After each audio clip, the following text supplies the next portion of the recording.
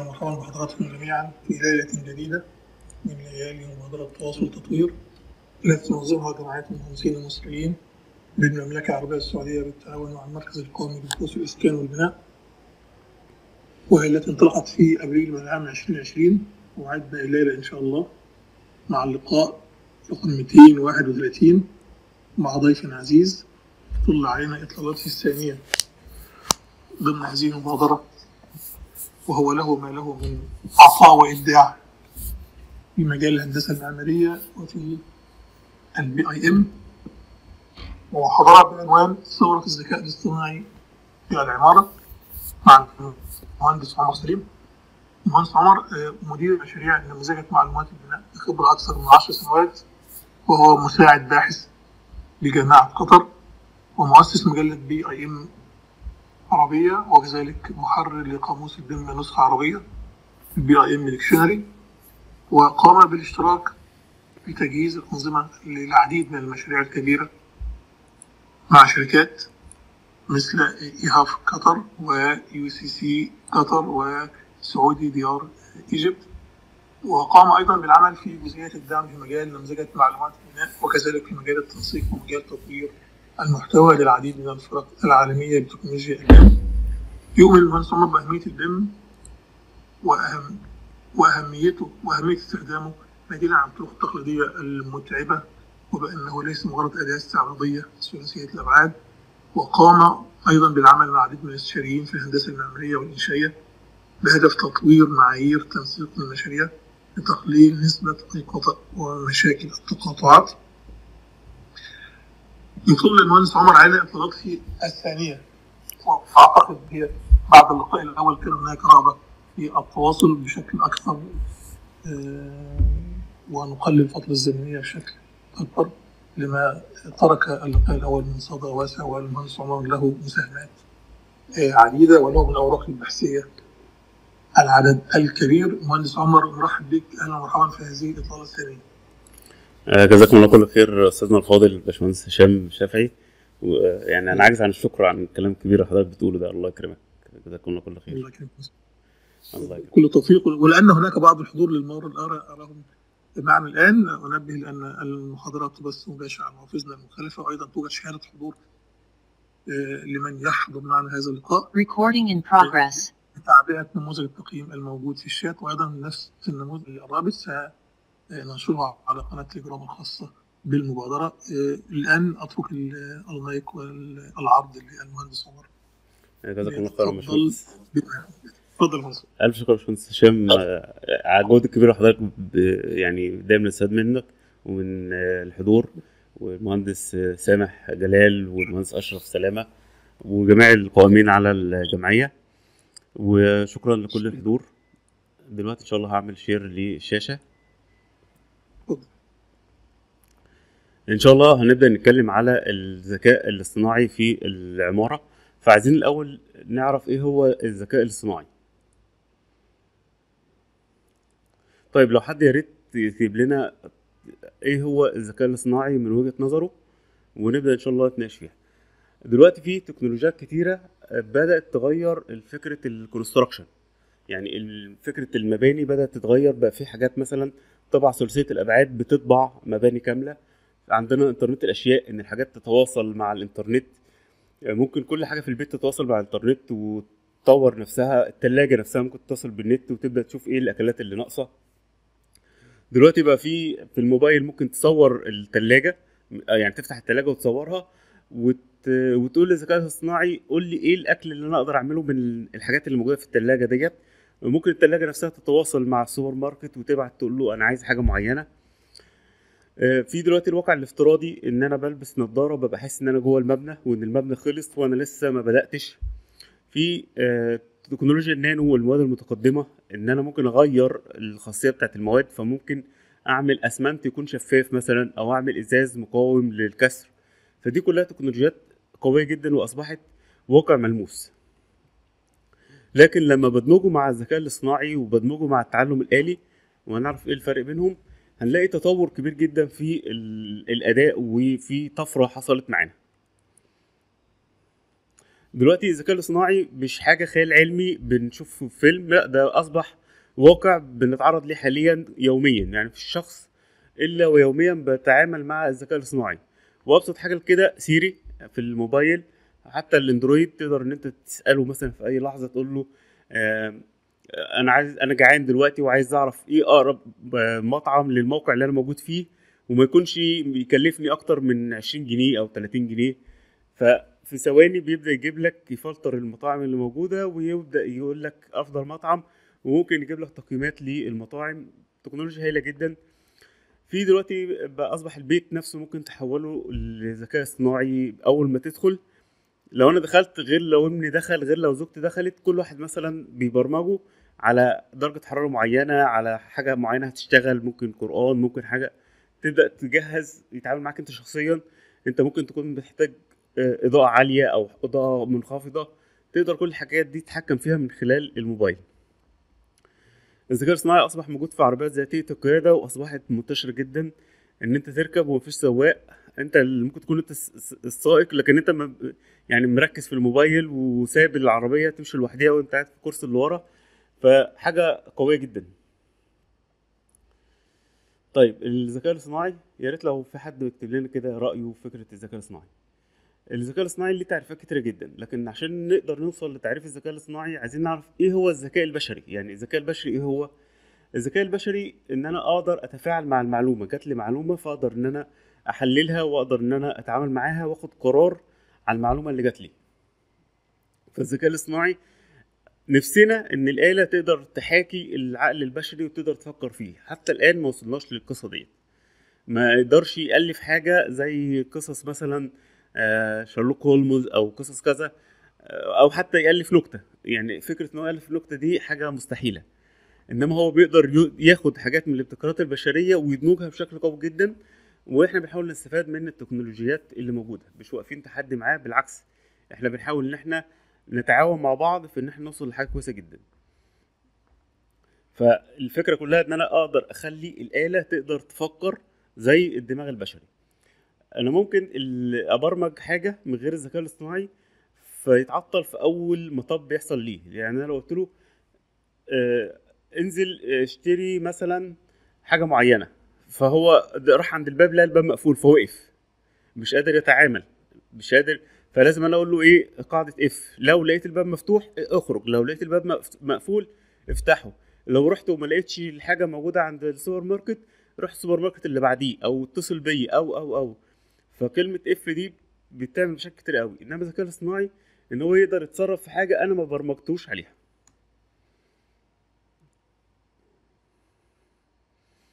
طيب الذكاء الاصطناعي العرب حطوا العرب والمسلمين حطوا أسس للعلم دوت. يعني حتى أقوى حاجة في الذكاء الاصطناعي فكرة الخوارزميات. هنشوف بعض أمثلة للخوارزميات. الخوارزميات بالنسبة لل- للخوارزمي هو اللي حط القواعد لطريقة التفكير. في كتاب أنا شفت الكتاب دوت المحتوى بتاعته الجامع بين العلم والعمل النافع في صناعة الحيل اللي بديع الزمان الجزري وحط أسس وعمل فعلا روبوت بيقدر إن هو يجهز المية لل- لل- للأمير عشان يتوضا خمس مرات في اليوم فدي كانت حاجة آه، قوية جدا. يعني الأسس نفسها كانت موجودة عند العرب والمسلمين. لكن بداية ذكاء اصطناعي يا ريت حد يكتب لنا كده يتوقع بداية الذكاء الاصطناعي. هل هو كان 2020 2022 آه، كان بداية ظهور الذكاء الاصطناعي كان سنة كام؟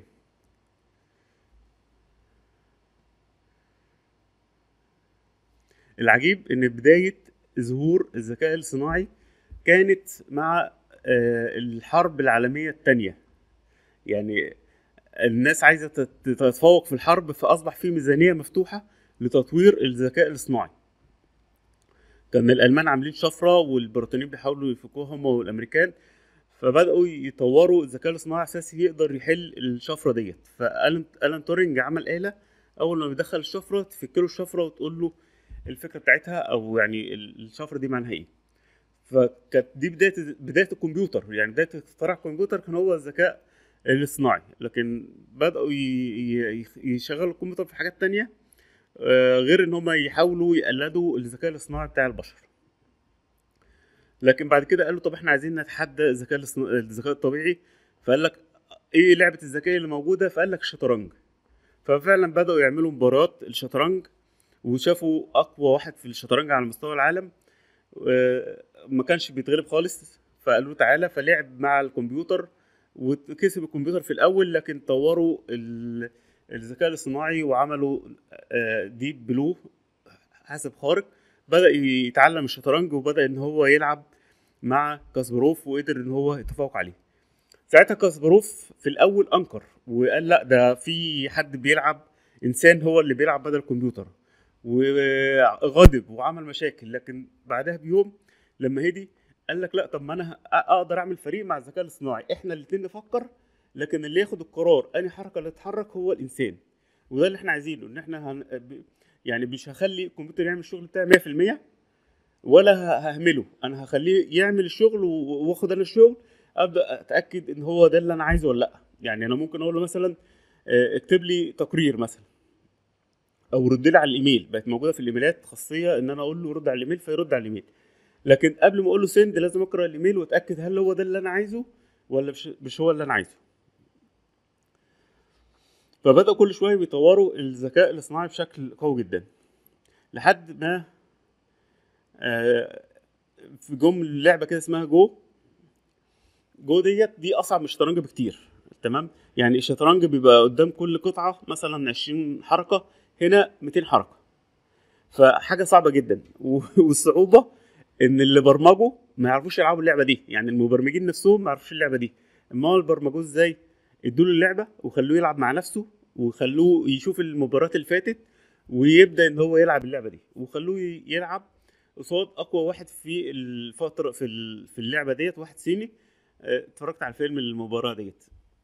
في حركة فيهم اسمها حركة 37 يعني ده لعب حركة وده لعب حركة ده لعب حركة وده لعب حركة. لحد الحركة 36 الشاب الصيني لعبها وبعد كده الكمبيوتر لعب الحركة 37 فلما لعبها اكتشفوا إن هو لعب حركة غبية أو حاجة مش صح.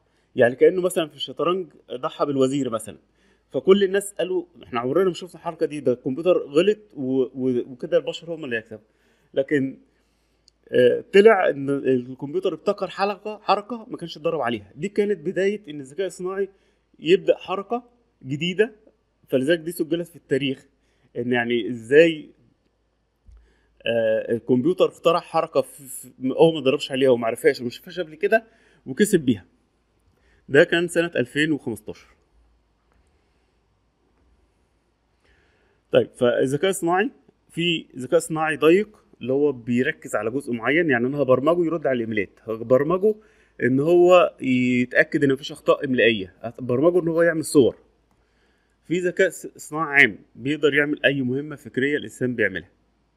في بعد كده الذكاء الاصطناعي الفائق وده إحنا ما عملناهوش ولا حتى قريبين منه. إن هو يتفوق على الإنسان. ده حتى الآن مش مقربين منه خالص ومفيش أبحاث ناحيته ولا حاجة خالص. كله بيركز على الذكاء الاصطناعي العام. طيب آه، ده بقى إيه الماشين ليرنينج اللي هو تعلم الآلة. ده فرع من الذكاء الاصطناعي. يعني أي حاجة في المجال ده هو ذكاء اصطناعي. لكن في فرع منه اسمه التعلم الآلي. في فروع تانية كتيرة جدا غير التعلم الآلي. في فرع مثلا تحويل الكلام لصوت أو تحويل الصوت لكلام. يعني كان لسه. بجرب تطبيق كده آه... تطبيق لسه مشغله حالا. تمام؟ آه، التطبيق اسمه اي زد توك أنا بتكلم مع واحد صديق ليا ألماني. أو في ألمانيا. هو يتكلم بالألماني أنا أسمعه بالعربي ويجي لي الكلام بالعربي. وال- والعكس يعني آه، أنا بكلم واحد صيني ومش محتاجين مترجم. أنا بتكلم بصوتي فيجي له صوت وكتابة الكلام باللغة اللي هو بيجيدها. فدي طفرة جدا. طيب ال machine learning عبارة عن إيه؟ إن الآلة تتعلم تبدأ تتعلم. أبدأ إن أنا أدربها شوية وتبدأ إنها تتعلم. زمان كان في برنامج آه، كنت انت تتكلم وهو يبدأ يحول الكلام بتاعك لصوت كان تبع شركة IBM الكلام ده كان سنة تقريبا 97 فكان عشان يتدرب كنت بتحتاج إن انت تقعد تتكلم معاه لمدة مثلا 200 ساعة على أساس إن هو يفهم إن انت أول ما تقول كده يبقى انت تقصد كده. فلما تتكلم هو يبدأ بقى يكتب بسم الله الرحمن الرحيم هذا كتاب وهكذا. دلوقتي هو بقى الموضوع أقوى من كده إن هو بيتعامل مع ملايين الناس في نفس الوقت فبيتعلم من ناس كتيرة جدا. فلذلك ال- الأداء بتاعه بيبقى كويس جدا من أول دقيقة. التعلم الآلي إن هو بيبدأ يقعد جنبي وبيبدأ يتعلم. بمعنى أنا مثلا بعلمه السواقة فأنا حاطط البرنامج في في العربية. بيلقط كل حاجة أنا بعملها في السواقة. يعني أنا مش هبرمجه لكل حاجة لكن هو هيبدا يشوفنا بسوق إزاي ويبدأ إن هو يتعلم مني. تمام؟ حتى مثلا في بعضنا بيعمل حركة كده مش مش مش منطقية يعني إن هو قبل ما الإشارة تفتح بشوية بيبدأ يرفع رجليه من على الفرامل العربيه تتحرك إيه كام ملي كده رغم إن لسه الإشارة ما بقتش خضراء هو ممكن يتعلم حاجة زي كده ويبدأ إن هو يطبقها تمام؟ هو بيتعلم من الحركات بتاعتي. لما يلاقيني يقف عند اشاره حمراء يقف لما يلاقيني بعمل كذا يقف. فده نفس الفكرة هعمله في قلب الكمبيوتر مثلا إن أنا أول ما أعمل غرفة لازم يبقى فيه باب وشباك يبدأ يتعلم إن هنا يبقى لازم يبقى فيه باب وفيه شباك وفيه كذا وفيه كذا فيبدأ يتعلم من كل حاجة أنا بعملها طول ما أنا شغال على الكمبيوتر. هو طول الوقت موجود في الخلفية وبيراقب بيشوف إيه اللي أنا بعمله كتير ويبدأ إن هو يعمله. مثلا أنا أول ما ببدأ اللوحة ببدأ أرسم الجريد بخطوات معينة. يبدأ ياخد نفس الخطوات دي يتعلمها خلاص كل مرة بيعملها بدون تفكير وبدون ما يسألني في حاجة خالص. فالتعلم الآلي ده جزء من الذكاء الاصطناعي. إزاي يحلل البيانات؟ وإزاي يتعلم منها. وبينقسم لأقسام كتيرة بس هو الأساسي بالنسبة لنا ثلاث أقسام. القسم الأولاني supervised learning إن أنا بديله الحاجات وفهمها له. يعني بقول له ده آه، صور كلاب ودي صور قطط. ده أشهر مثال. أبدأ اقسم له وادي له 100 صورة للكلاب و100 صور للقطط وبعد كده ادي له 100 صورة هو ما شافهاش قبل كده. وهو يبدأ يقسمها ده صور كلاب دي صور قطط دي صور وهكذا. فكده هو اتعلم. الموضوع ده خطير جدا لأن هنشوف مع بعض أمثلة إن أنا ممكن أستخدمها في المباني في حاجات كتيرة جدا يبدأ إن هو يقسم المباني يقسم كذا يقسم كذا يقدر يسعر لي البيت مثلا. طيب في نوع تاني اسمه unsupervised learning. أنا هديله بيانات وكمية بيانات ضخمة لكن أنا مش هقسم له الحاجات. يعني هديله الصور كلها وهو يبدأ يقسمهم كلاستر ده مثلا صور كذا ودي صور كذا هو لوحده يبدأ يقسمهم لمجموعات. فده unsupervised يعني ما بكتبش على كل data المعلومة بتاعتها. أنا بديله ال data كلها وهو يبدأ إن هو يحللها ويبدأ إن هو يوجد لي آه، روابط بينهم. أنا نفسي ما أعرفش الروابط ديت. طيب في نوع ثالث reinforcement learning. إن أنا بدخله اللعبة وأقول له اتعلم مع نفسك. هنشوف أمثلة كتير منها بس هي أبسط حاجة منها مثلا إن أنا أديله لعبة واللعبة دي بتعتمد. لو عملت حاجة صح هتاخد عليها نقطة صح. لو عملت حاجة غلط هياخد عليها نقطه غلط فهو يبدأ يتعلم بالخطأ ويبدأ يكتشف إيه اللي المفروض يعمله عشان يكسب في اللعبة ديت. هنا مثلا أنا بديله آه، تفاح وأقول له إن ده تفاح. فلو شاف صور تفاح يبدأ إن هو يكتشف إن صور تفاح. هنا ممكن أديله كل الحاجات مرة واحدة وهو يبدأ يقسمهم فيكتشف إن ده مجموعة اسمها تفاح ومجموعه اسمها موز أنا لازم أقول له بقى ان دي تفاح ودي موز بس هو قدر يقسمهم وقدر ان هو يتعرف عليهم. هنا مثلا ال supervised learning هديله مثلا آه، مباني سكنية واديله مباني مثلا فيلل واديله مباني كذا وهو يبدأ يوجد العلاقة بينهم. ال unsupervised learning أنا بديله كل الصور كمية كبيرة من ال data ويبدأ إن هو يكتشفها. من ضمن الحاجات اللي هي unsupervised learning آه إن أنا ممكن أديله مثلا صور للغه الهيروغليفية القديمة وهو بيبدأ يكتشفها ويكتشف العلاقة اللي بينها ويكتشف مثلا لو في حروف ناقصة ويبدأ إن هو واحدة واحدة يكتشف وفي فعلا مشروع شغال كده إن هو بيبدأ يتعلم اللغات القديمة ويبدأ يكتشف اللغة نفسها حتى لو إحنا مش عارفينها. هنا مثلا أنا بدأت مثلا اديله آه، صور بيوت وأقول له خد اعرف لي سعر الحاجة دي كام. فهو بالأول بيعرف من خلال المساحة بعد كده بقول لا برضه ممكن تعرفها من خلال عدد الغرف عدد الحمامات اللي فيها. الموقع بتاعه فين. آه، الشوارع اللي قدامه الشوارع اللي جنبه وهكذا. ببدأ أديله عوامل كتيرة بحيث إن أنا لما أقول له سعر البيت ده يبدأ إن هو يديني أقرب سعر ليه. ده برنامج ظريف جدا. أنا كنت مستوعب عندي. ده برنامج مجاني. آه، عملت تجربة إن أنا صورت كام صورة وأنا بشرب القهوة. أنا مدمن قهوة. وصورت صور كتيرة وأنا ما بشربش قهوة. وبعد كده قلت له طب شغل الكاميرا واعرف لي أنا بشرب قهوة ولا لأ. أول ما أمسك الكوب يكتب إن أنت بتشرب قهوة. وأسيب الكوب يقول لي أنت ما بتشربش قهوة. والبرنامج سهل جدا أنت ما بتعملش حاجة خالص لا برمجة ولا حاجة خالص بس بتدي له كمية كبيرة من الداتا وهو بيكتشف الروابط اللي بينها. وبعد كده ببدأ أقول له طب اتدرب بقى على الت- التمارين دي. فيبدأ إن هو يتدرب عليها ويقول لي إذا كانت أنا أقول له بقى إذا كان هو فعلا اكتشف 100% صح ولا خطأ. فالتدريب بتاعها بيبقى سهل جدا. ده ممكن نعمله في إيه؟ في حاجات كتير جدا. يعني مثلا هنا الراجل بدأ يشوف الآفات بتاعة النباتات. تمام؟ آه، وهكذا. فبدأ يكتشف الأمراض بتاعة النباتات ويبدأ يكتشف الروابط اللي بينهم. آه، ممكن أقول له أنواع العمارة. أول ما يشوف صورة يبدأ يتعرف. دي مثلا عمارة كلاسيكية دي عمارة مودرن ده ذو حديد وهكذا. طيب. ده الفيديو بتاعي لما كنت أعتقد بشرب قهوة. آه. اديته صور كتيرة وبعد كده عرفته ده بشرب قهوة ده ما بشربش قهوة وما كتبتلوش إن أنت تركز على الكوباية. أنا قلت له بس آه، افهم لي الصور ديت فقدر إن هو يقول لي آه أنت هنا بتشرب قهوة هنا ما بتشربش قهوة وهكذا.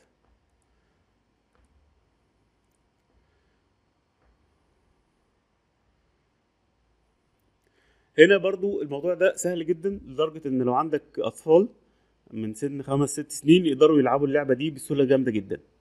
تمام؟ حتى شرحتها بالتفصيل. آه، في كذا نوع. في نوع مثلا ان انت تديله صور قطط انت مجرد بس بترفع له الصور وتقول له دي صور قطط صور كلاب. يعني لا مطلوب منك إن انت تبرمج أو تكتب أو تعمل أي حاجة أو تسطب حاجة خالص. لا الموضوع في غاية السهولة. فهو يبدأ يتعرف عليها. بتقول له مثلا هقف كذا وقفة وهو يبدأ يعرف الوقفة دي أنهي نوع وهكذا. أو صوت أو صور أو فيديوهات. بيبدأ يكتشف. هنا مثلا في سنسور لو أنا عندي شوية آه، فول سوداني أعزكم الله ولب يقدر إن هو يفرق بينهم ويحط ده لوحده وده لوحده. وده كان زمان عشان تعمله كان محتاج منك برمجة كتير جدا. دلوقتي لأ الموضوع بقى سهل خالص من غير كود ومن غير برمجة تقدر تعمل حاجة زي كده. فممكن تقول له مثلا والله شوف لي لو المبنى ده معمول مثلا steel أو معمول concrete أو أو تقدر إن أنت تبرمجه بحاجة زي كده.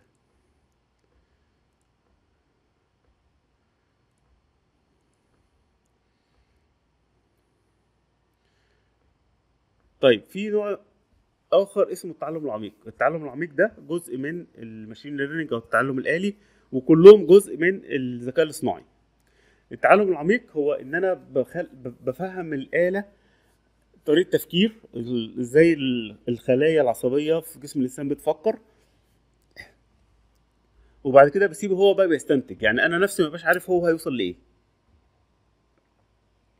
وبعد كده هو بيبدأ إن هو يتدرب. يعني مثلا أنا المفروض في في البيت الذكي إن أنا أدخل أقول له إيه turn on يعني أشعل الضوء فيبدأ فدلوقتي بقى مفتوح إن أنا أي لغة أقولها حتى لو بالعامية العامية السعودية أو العاميه المصرية أو العاميه السورية بيبدأ إن هو يفهمها ويبدأ إن هو يتعلم منها. التعلم العميق ده جزء من ال machine learning لكن هو بيبقى أعمق بحيث إن ليه سبب إن هو مسمينه التعلم العميق إن هو بيبقى فيه خلايا عصبية كتير. بيبقى فيه خلايا كتيرة جواه هيدن أنا نفسي ما بقاش عارف هو وصل ليه يعني أنا نفسي المبرمج ما بقاش فاهم هو ليه خد القرار دوت ودي الخطورة بتاعتها. دي لذلك صعب إن إحنا نستخدمه مثلا في في حرب مثلا لأن هو ممكن ياخد قرار أنا مش عارف هو بناء عليه أخد القرار دوت. تمام؟ هوريكم آه، لعبة ظريفة. آه، هو عامل آه، اتنين بيحاربوا بعض. لا مش دي.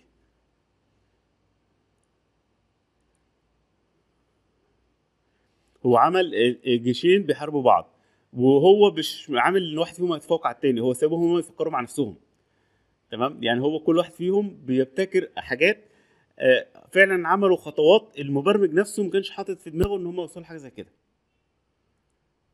دي تجربة جميلة جدا. يعني في مثلا نقدر نقول إن الأحمر والأزرق أو اللصوص والشرطة فبدأ إن هو يلعبوا إن إن هم هو بيفتح اللعبة ويسيبوا هما الاثنين يلعبوا قصاد بعض. فده عارف إن التاني هيقبض عليه فيروح حاطط حاجات تسد المكان إن هو يدخل.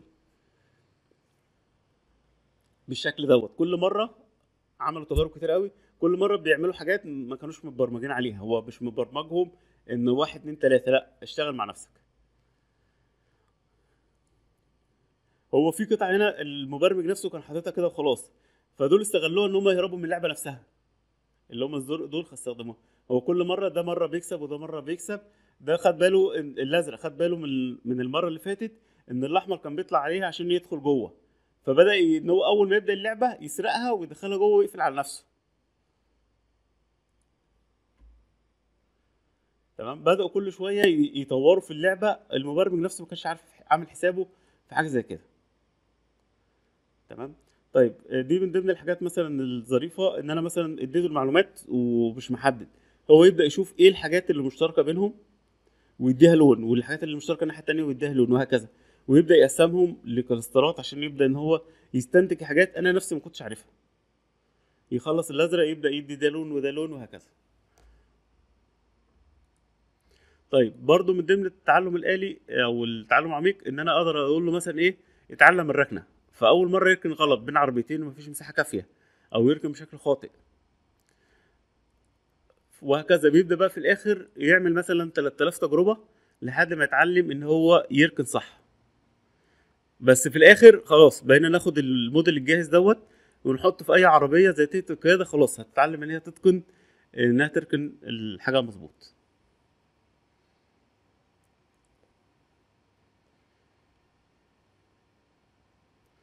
دي فكرة ال deep learning إن أنا عندي معلومة هنا وبيبدأ يشوف المعلومة دي بيقيسها باكتر من حاجة. يعني لو أنا مثلا عندي آه، مثلا آه، وليكن مثلا أكلة معينة فممكن من خلال حاسة الشم أقدر أستنتج نوع الأكلة وممكن من خلال حاسة التذوق وممكن من خلال حاسة اللمس.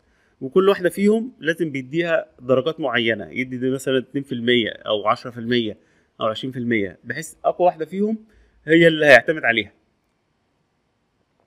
يعني أكلة مثلا هياخد مثلا حاسة الذوق. ممكن مثلا ماتيريال معينة فيبقى من حاسة اللمس. لحد ما في الآخر يقدر يستنتج حاجة ما كناش عارفينها. وفعلا الذكاء الاصطناعي أو التعلم الآلي قدر يستنتج حاجات آه، يعني استنتج مثلا إن إحنا نقدر نفرق بين الذكر والأنثى من خلال نقطة معينة في قرنية العين. ما كناش نعرف إن النقطة دي موجودة هنا ومش موجودة هنا.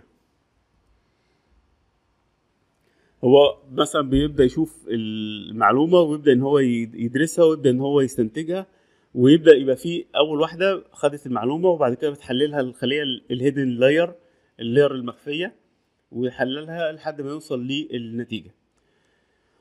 دي مثلا حاجة اسمها Stockfish chess الشطرنج ده نوع من أنواع الشطرنج وده نوع آخر من أنواع الشطرنج. هنا كان معتمد على التعلم الآلي. وهنا كان متعلم على التعلم العميق. ده كان بقاله سنين شغالين فيه وده كان بقاله شهر واحد. ومع ذلك اللي هو بقاله شهر واحد هو اللي تفوق لأن الفكرة نفسها قوية جدا. التعلم الآلي إن هو بيبدأ يتعلم مع نفسه وبيبدأ يلعب الشطرنج بشكل قوي جدا. خلوهم الاثنين يلعبوا قصاد بعض يعني الذكاء الاصطناعي ده بيلعب قصاد الذكاء الاصطناعي ده. AlphaZero لعب قدام ال- ال Stockfish. ولقوا إن التعلم العميق هو اللي فاز.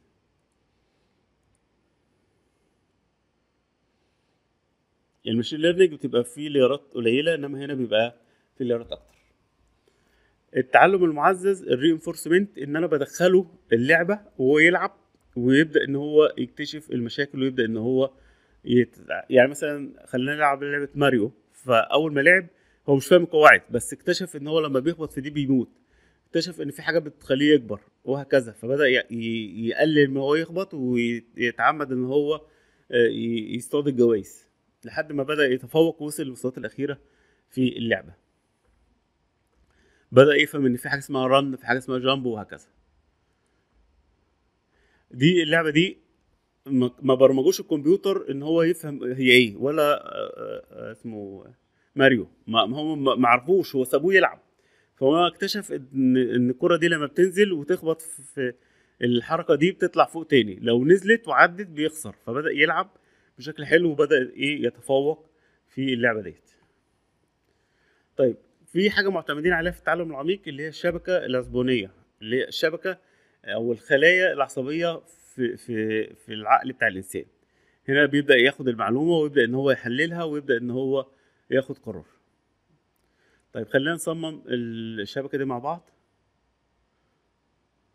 أهوت. دي اهي الشبكة اهيت. آه، هقللها شوية.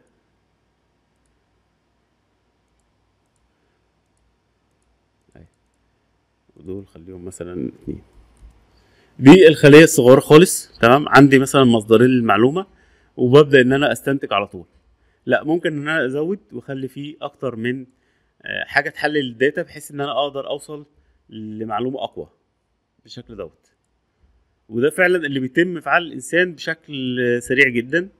يبدأ إن دي الخلية ال input وبعد كده في layer ات أو في كذا جزء بيبدأ إن هو يحلل ال data لحد ما يوصل للحاجة اللي هتخرج لنا في الآخر. وده اللي بيحصل في كل الحاجات اللي إحنا بنستخدمها سواء شات جي بي تي أو ميد جورني أو أو أو. في حاجات كتيرة جدا بتتم إحنا مبقاش واخدين بالنا منها أو مش ظاهرة لنا. فالخلية الشبكة العصبونيه دي الأساس اللي هي neural network دي لغاية دلوقتي مش قادرين يوصلوا إن هم يقلدوا الخلايا العصبية اللي في جسم الإنسان وهم بياخدوا أبسط من كده بكتير عشان يقدروا إن هو يعملوا.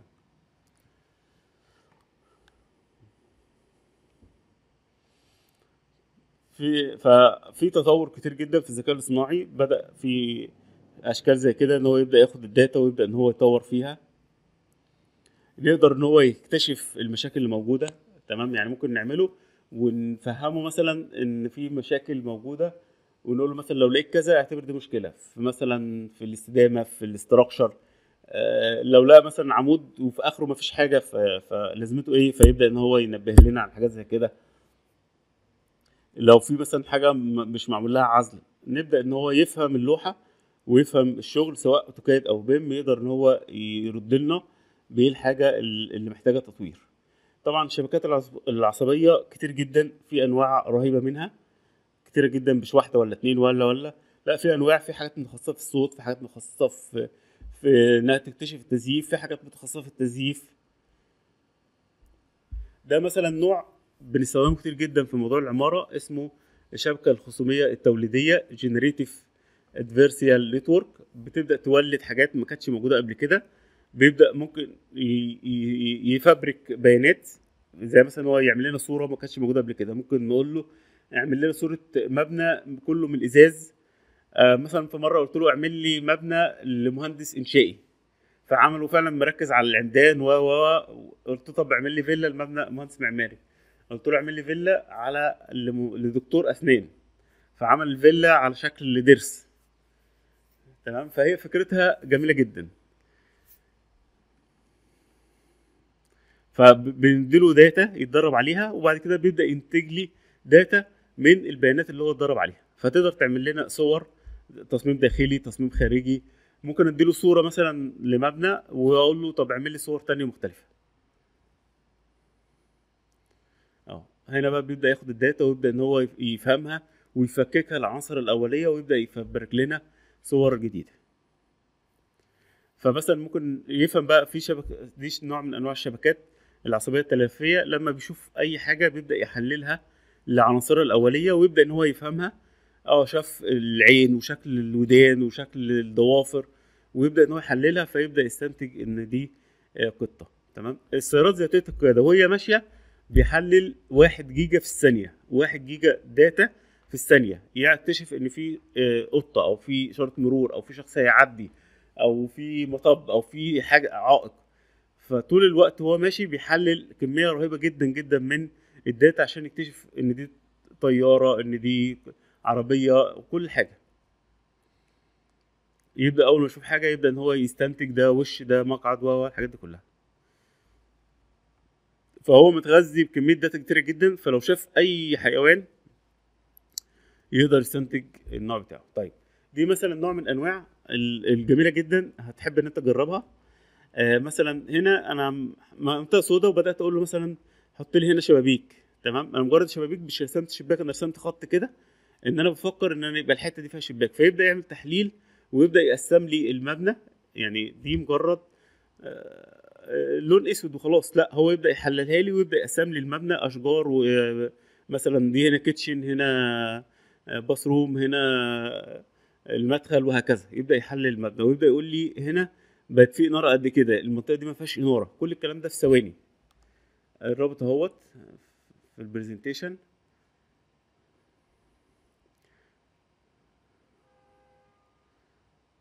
آه. ابدأ ارسم بقى الشكل اللي أنت عايزه floor طب أنا عايز أرسم مثلا windows فأبدأ أختار ال windows وأبدأ أرسم ال windows ويبدأ إن هو يحلل لي ال data ديت. تمام؟ اهو start هنا مثلا عايز أحدد المدخل بالشكل ده هنا. طب ال windows بتاعي هنا. تمام؟ وأقول له مثلا اعمل لي حاجة random أو اعمل لي transfer آه. أنت عايز تحدد مثلا مدخل تاني هنا. يبدأ إن هو يشتغل عليه. عايز تحدد مثلا شباك مثلا هنا. هو ياخد بقى التصميم بتاعك ويبدأ إن هو يحوله للوحة حقيقية. وبعد كده مع التطور يبقى لوحة أوتوكاد. وهنشوف حاجات ناس آه، مصريين اللي عاملينها. تمام؟ آه. عمل لي مدخل هنا مدخل هنا عمل لي شبابيك هنا وهكذا. طيب. هنا مثلا اللغة العربية يعني مش مركزين عليها لكن في ناس ما شاء الله كويسين. بدأوا إن هم يخلوه يفهم اللغة العربية بشكل حلو جدا. عندنا في اللي هو ال generative artificial intelligent اللي هو التوليدي إن هو يبدأ يولد معلومات مثلا كتابات أو صور أو أصوات أو أكواد كأن ال... كأنها إبداع بشري تمام؟ دي مثلا حاجات آه، آه، شركة اكونكس دي شركة مصرية عاملة إنها تبدأ تحلل ال data ويبدأ يعمل توليدات لمخططات ال- الناس هتمشي إزاي في قلب المكان في مصنع. دي كونكس اهيت دي مثلا تقدر تديله قطعة أرض فهو يبدأ يقسمها لك الفيلا ويبدأ يشوف إيه المتطلبات بتاعتك ويديك 50 اقتراح فأنت تقول له لا ده أنا بفكر في كذا. أنا تركيزي مثلا غرفة مكتب بالنسبة لي أهم حاجة فيبدأ إن هو يغيرها لك وفي الآخر يديك الحاجات دي على AutoCAD أو PDF زي ما أنت عايز. أو أنت بتقول له كذا فهو بيبدأ يفكر طب لو حطيت الغرفة دي هنا طب لو قسمتها بالشكل دوت فيبدأ يفكر ويديك حلول كتير جدا. شركة كونكس لو دخلت على الموقع بتاعهم وقلت لهم عايز أجرب هيديك هي- هيديك presentation ويخليك تجرب الموقع عادي مفيش مشكلة.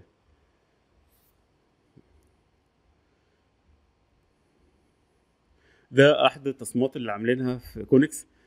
حبوا يعملوا تصميم ثوري وجذاب وما خدش منهم وقت خالص. وبعد كده بدأوا يعملوا تحليل للدراسات البيئية. يعني مش مجرد شكل 2 دي وخلاص لا ده انت ممكن تعمل عليه دراسة للرياح للشمس للظلال لحركة الهواء CFD كل الحاجات اللي انت عايزها تقدر ان انت تعملها بسهولة. دي إعادة تصميم للواجهة بحيث إن هما يراعوا أشعة الشمس والحرارة فقدروا يخفضوا الحمل الحراري بنسبة 88% من 900 كيلو وات متر مربع ل 100 فطبعا تصوير هايل جدا. دي شركة من ضمن شركات الذكاء الاصطناعي. قدروا يعملوا تصميم توليدي خاص بيهم إن بيديله المعلومة ويبدأ هو يعمل التصميمات في ثواني. يعني زمان كنا بنحاول نعمل تصميم كنا تقريبا مثلا عشان ندخل مسابقة بنعمل ثلاث تصميمات. ثلاث تصميمات كل تصميم مبدئي ممكن ياخد ثلاث أربع أيام عشان تعمل بس إيه تصميم مبدئي تمام؟ لا هنا في ثواني بيخلص معانا. لكن لكن لو واحد خبرة أكيد هيطلع إنتاجية أفضل بكتير من واحد مش خبرة. يعني مش الكمبيوتر لغى الخبرة لأ الخبرة أهم بكتير جدا من الكمبيوتر. لكن بنحاول إن إحنا نوحد بين الاتنين. طيب من ضمن الحاجات اللي الواحد بيستخدمها كتير جدا في أي مشروع قبل ما يبدأ إن هو مثلا في موقع اسمه Microsoft Copilot. أنا حاليا معتمد عليه تماما. يعني حتى الموبايل أي حد بيقول لي أنا عايز أجرب الذكاء الصناعي بقول له سطب ال Copilot. لسبب ال Microsoft Copilot هي مستثمرة في ChatGPT فهو واخد نفس مزايا ChatGPT 4 اللي هو آخر إصدار صدر لكن استخدام مجانا. يعني لو رحت ال OpenAI هتلاقي نفسك بتدفع فلوس عشان توصل ل Microsoft Copilot اللي هو مجاني. و Copilot من ضمن الخصائص اللي موجودة فيه إن أنت تقدر تقول له انشئ لي صورة تقول له بالعربي والميزة إن هو بالعربي تقدر تقول له اعمل لي صورة فيبدأ يعمل لك صور رائعة جدا. ال Midjourney بفلوس فأنا لقيت إن Microsoft Copilot بيغنيني عن Midjourney وبيغنيني عن OpenAI وبيغنينا عن ديل اي ديل اي تبع اوبن اي اي فدلوقتي إحنا بنتكلم وده مفيد جدا للمهندسين اللي هو ال large language model إن أنا الذكاء الصناعي بيفيدني في إن هو يقدر يتكلم معايا في حاجات كتير جدا. أنا كنت شغال في مشروع آه، سفارة هندية فأنا كنت لازم أفهم ال- ال- الفكر العبارة الهندية. فقعدت أسأله بقى بعض الأسئلة طب إيه الفرق بينها؟ طب آه، آه، الرمز اللي موجود جوه ال- العلم دوت عبارة عن إيه؟ طب عدده كام عشان أعمل زيه؟ آه، طب شكل القبب اللي موجودة هل هي قريبة من القبب ال- العربية ولا في اختلاف؟ طب وهكذا. فبدأت أدخل في تفاصيل كتير جدا عشان أقدر أقرب أو أقدر أفهم العمارة الهندية في وقت قليل. وممكن مثلا أنت عايز تكتب رسالة مثلا معينة ومش عارف تكتبها خليه يساعدك. قول له والله اكتب لي الرسالة كذا اكتب رسالة مثلا للمدير بتاعي عشان آخد أجازة. آه، أنا عايز أوافق على الإيميل. هو دلوقتي بقى موجود جوه الإيميلات فتقدر تقول له رد لي على الإيميل دوت بالإيجاب أو بالرفض فيجيب لك الإجابة اللي أنت عايز عايزها. آه، زمان كانت موجودة ال large language model دي موجودة من زمان بس عشان تستخدمها كنت لازم تبقى مبرمج لازم تقعد أنت تبرمج فيها. لازم الجهاز بتاعك يبقى قوي جدا. دلوقتي أنا مسطبه عندي الذكاء الاصطناعي اللي هو الذكاء الاصطناعي اللي هو آه، كذا نوع من أنواع الذكاء الصناعي سواء كتابة أو صور أو كذا كذا مسطبه بضغطه زرار يعني في برنامج اسمه بينوكيو. تمام؟ أه بقول له سطب لي الكذا يروح مسطبه لي ألاقي عندي ذكاء اصطناعي والمواقع موجودة مجانا تقدر إن أنت تجرب برامج كتيرة جدا. وتطلع لك نتيجة مذهلة.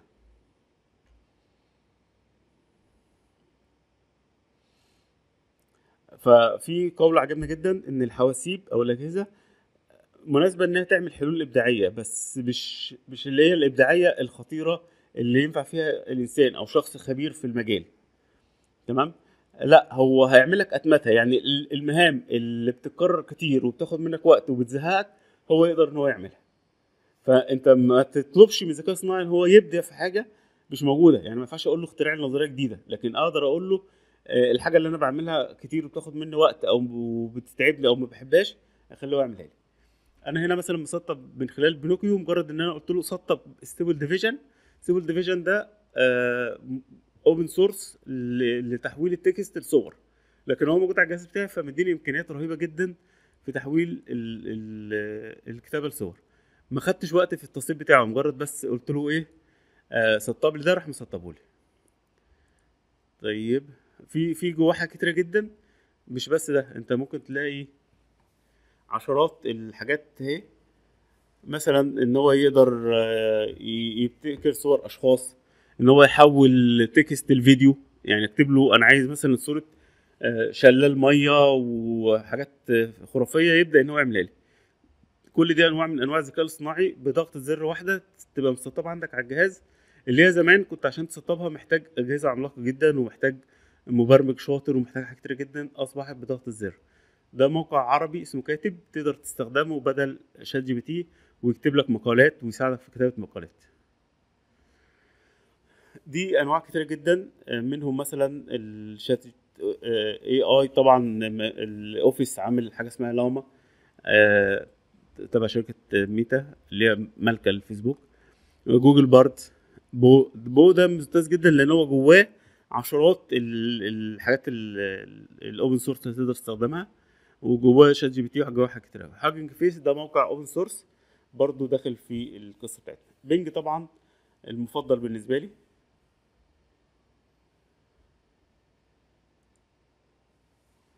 لأن هو بيوصلني ل ChatGPT. ممكن تقول له شات؟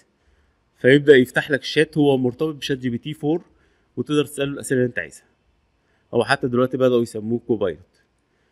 آه ممكن نخش مثلا على ال image نوريك صور قدر كده كنت عاملها النهارده. create آه مثلا دي صور قلت له اعمل لي آه، صور يكون بسيطة جدا لغرفة جلوس فعمل لي الصور بالشكل دوت. أنا لا استعملت الفوتوشوب ولا حاجة خالص مجرد قلت له اعمل لي الصورة فدخل عملها لي بالشكل ده. دي برضو آه، أكتر من حاجة مقترحة. تمام؟ فالتصميم الداخلي آه، والخارجي برضو فاتني بشكل كتير جدا. أي صورة بفكر فيها هو يبدأ إن هو يعملها لي. تمام؟ حتى قلت له اعمل لي بيت مثلا في قلب فقاعة. فعمل لي حاجة بالشكل الخطير دوت. تمام؟ هو يوميا بيديني 15 نقطة. 15 نقطة مجاني يعني تقدر تعمل آه 15 مره 15 مرة كل مرة أربع صور. فبيبقى حاجة خطيرة جدا يوميا. كل يوم ينزل لك صور جديدة. وأعتقد إن هم كافيين يعني مش كافيين تقدر تعمل حساب تاني وتدخل. أو حتى لما بيخلصوا مش بيقول لك لأ بس بياخد وقت أكتر في إن هو يعمل الصورة. ماشي؟ طيب ال Midjourney. ده بيعمل صور كتيرة جدا وليه حاجات تانية. دي كلها برامج تقدر تعمل لك الحاجة بسهولة جدا. وفي حاجات خاصة بالعمارة يعني دي مثلا خاصة بالعمارة بس. دي برضو بتعمل لك صور ماشي؟ كل دول وأغلب اللي أنا مركز عليهم حاجات ليها علاقة بالعمارة. هنا بقى Adobe Firefly طبعا كلنا عارفين شركة Adobe اللي عاملة Photoshop وال Premiere و و و فهي عاملة حاجة جميلة جدا. ده الموقع بتاعهم حطها open source تمام؟ منهم مثلا ال Generative Fill ال Generative Fill مثلا أديله صورتي مثلا آه، وأنا آه، لابس قميص وأقول له طب بدل القميص ده بحاجة تانية. أو أنا ماسك تفاحة فأقول له بدل لي التفاحة دي بموز. فيلغي الصورة ويركب لك صورة تانية خالص. هنا مثلا text to image هتديله text يحول لك ال text ده لصورة. text effect تقدر تكتب له أي كلمة وتقول له اعملها لي. ب style معين يبدأ إن هو يكتب لك الكلمة دي ب style معين. تمام؟ يعني اكتب ال text هنا مثلا. أي حاجة مثلا Egypt تمام؟ آه، اكتب ال prompt اللي أنت عايزه. مثلا flower وتقول له generate هتلاقي عملها لك في ثواني لو حاولنا نعملها فعلا بالبرنامج هتاخد مننا وقت كتير جدا. هو بيقترح عليك ان انت تعملها مثلا في شكل بالون أو flower أو bread آه، توست وحاجات زي كده. تمام؟ بدأ يكتبها لك وبدأ يديك أكتر من style تقدر إن أنت آه، تكتب بيه الكلمة. تمام؟ فتقدر تقول له مثلا عايزها بالحاجات الآثار القديمة والحاجات دي كلها يقدر إن هو يعملها لك. دي كلها صور معمولة. حد قال له مثلا اعمل لي شكل مباني بدأ إن هو يعملها له.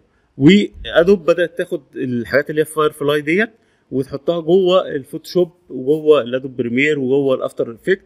بقت سهل جدا وانت شغال بال Photoshop بدل ما تقعد تعمل كذا خطوة آه، وتبدا تعمل select الحاجة وبتاع لا بتقول له غير لي دي الغيها بيعمل لك دي دي مقارنة بقى بين Stable Diffusion عمل لي الصورة نفس الكلمة قلت له أنا عايز رائد فضاء والحاجات دي كلها. ده DALL-E 2 طبعا دلوقتي DALL-E 3 Midjourney بدأ برضه يتفوق. فدي مقارنات كل واحد بقى يشوف هو محتاج إن هو يشتغل إيه. طيب من ضمن الحاجات ال- اللي لازم إن إحنا نتعلمها ال prompt أنا ممكن إحنا الاثنين بعد ما نخلص المحاضرة ندخل ونكتب كل واحد فينا يكتب prompt أنا ممكن أكتبه بشكل يطلع لي إجابة سيئة وأنت تكتبه بشكل يطلع إجابة ممتازة. آه، من ضمن المقترحات إن أنت مثلا عايزه إيه يكتب لك آه، تقرير. فأقول له إيه تخيل إن أنت رجل متخصص في كتابة التقارير تخيل إن أنت مهندس معماري. في ساعتها الإجابة هتبقى مركزة كأن مهندس معماري اللي أنت سأله. تخيل إن أنت رجل فضاء تخيل إن أنت متخصص في كذا. ففكرة إن أنت توجهه يرد بلسان إيه؟ دي بتفرق كتير قوي جدا معاه.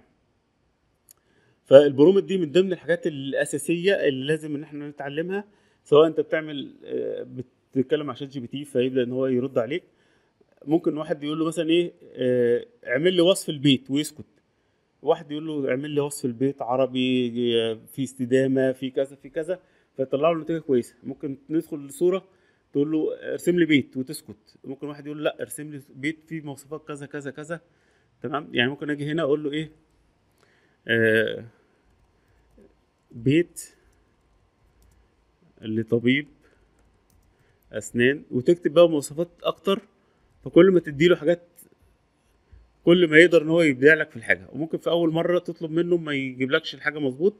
فتسأله مرة واثنين وثلاثة لحد ما توصل لنتيجة اللي انت اللي عايزها. يعني ممكن تقول له لا دي مش هي دي وهكذا. الميزة إن لو أنا كتبت برومت وأنت كتبت نفس البرومت النتائج هتطلع مختلفة لأن هو كل مرة بيبدأ حاجة مش بيدور على النت. تمام؟ ده بيت مش حلو. ليه؟ لأن هو بيت لا أنا عايز تصميم لبيت حقيقي. تمام؟ فقول له تصميم بيت لدكتور أسنان.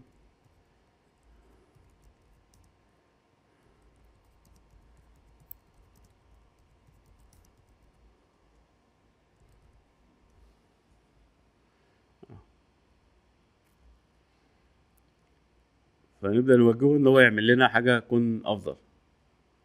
تمام؟ ولما بتكتب له بالإنجليزي بيكون الاجابه بتاعته أدق. آه بيقول لي اكتب وصف آه، أدق شوية. طيب. طيب ده برضو موقع كويس جدا بتقول له وصف لي اعمل لي صورة معينة فيبدأ إن هو يعمل لك صور. آه بيعمل زي تغذية بصرية. يعني أنا مش هاخد الصورة دي للكلاينت لكن أنا بفكر مع نفسي كده إيه اللي ممكن يطلع بشكل حلو يعني. طيب ده مثلا صور دي كلية هندسة جامعه المنصورة كنت بدي محاضرات هناك فعملنا ال... خدنا شكل الجامعة وطورنا فيه. تمام؟ دي صورة مثلا خدناها من دي جامعة اهيت دي شكل نفس الشكل إحنا رسمنا بس الكتلة وهو بدأ يعمل لها أكتر من نوع من أنواع ال- ال render. ده من خلال الموقع اللي هو Bing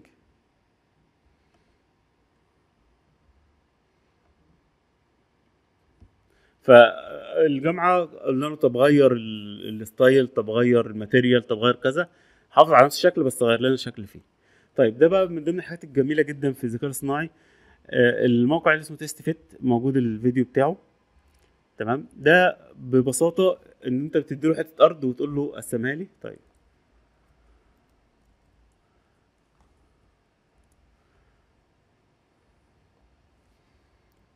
فهو بيبدأ يديك التقسيمة. في كل مرة بيديك التقسيمة بيبدأ إن هو يعمل لك الدراسة بتاعتها. ولو أنت احتجت فترة تغير التصميم هو أوتوماتيك يعدل لك كل حاجة تانية. يعني أنت عملت على شكل L وبعد كده الحتة اللي فاضية دي قلت لا أنا هستغلها. أوتوماتيك يغير لك كل المساحات الداخلية.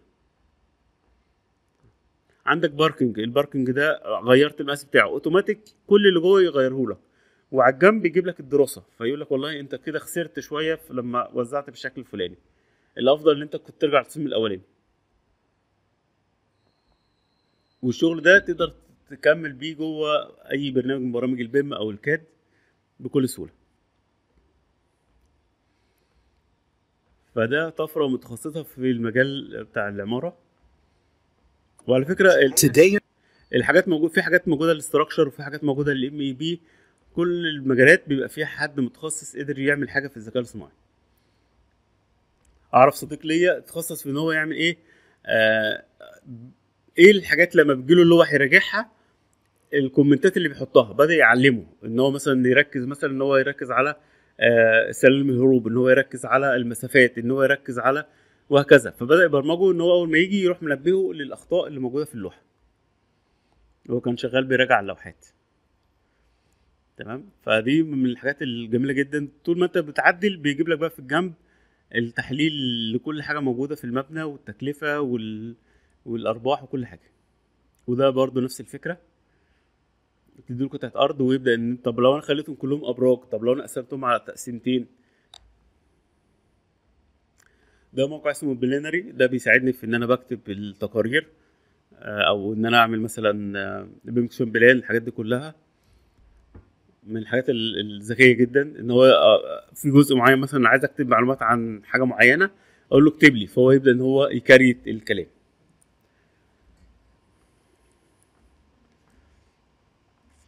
وببدأ أشوف الحاجات أهي الموديل بتاعي. ده موقع جميل جدا اسمه هايبر هو تقدر إن أنت تحدد الشكل المبنى وتقول له طب أنا عايز ثلاث أدوار طب أنا عايز ألغي المطبخ فلما لغيت بدأ إن هو يعيد التصميم من أول وجديد يبدأ يصغر لك الفرنتشر. يعني صغرت الغرفه هو كان حاطط 8 كراسي. يخليهم أربعة وهكذا. وفي كل واحدة فيهم بيبدأ يعمل تحليل. في نفس الثانية ويجيب لك التقرير ويبدأ يقول لك ال- التصميم ده أفضل ولا في مشاكل. سواب برضو من الشركات الجميلة جدا. لاحظ مثلا هو لما كبر المساحة هنا بقية الغرف بدأ يعيد التوزيع بتاعها ويجي المساحات وكل حاجة. يعني عندك تصميم وعدلت. فمش محتاج إن أنت تبذل جهد كبير لأ هو أوتوماتيك بيعدل كل التصميم الداخلية. فينش 3 دي برضو نفس الفكرة. مجرد إن أنت غيرت ال- الشكل الخارجي هو يبدأ يعيد الشكل الداخلي كله. عبارة عن خوارزميات بيبدأ يحلل الأفكار ويبدأ إن هو أول ما تديله قطعة أرض بيبدأ إن هو يحلل ال- التشكيل ويوزع ولو عدلت أي تعديل يبدأ إن هو يعدل جواه. ده موقع جميل جدا تبع شركة Autodesk اسمه آه، Forma الموقع دوت بتديله قطعة ارض كان اسمه م- آه، Maker آه، Spacemaker زمان بس غيروا دلوقتي يسموه Forma بتديله قطعة ارض فهو بيبدأ يوزعها لك ويبدأ كل ما توزع يقول لك والله دراسة الرياح كذا ودراسة الشمس كذا ودراسة الصوت. يعني لما وزعت كده بقى في عربيات بتدخل جوه المكان فده هيعمل ضوضاء للناس خلي العربيات على الحدود الخارجية. طب أنا واقف هنا بقيت شايف البحر أو شايف المنطقة الخارجية. يبدأ يقول لك كمية الم- الغرف اللي شايفه ال- المعلم الأثري الفلاني لأن ده طبعا هيأثر في سعر الحاجة. فده يعني محاضرة ساعة لوحده لأن هو فعلا من الحاجات القوية.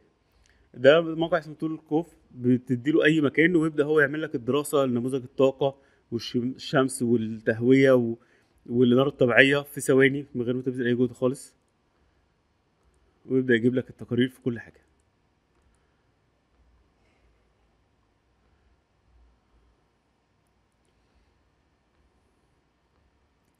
ماكت اي اي بتديله برضو جزء معين هو يبدأ يصمم ويعيد توزيع التصميمات الداخلية.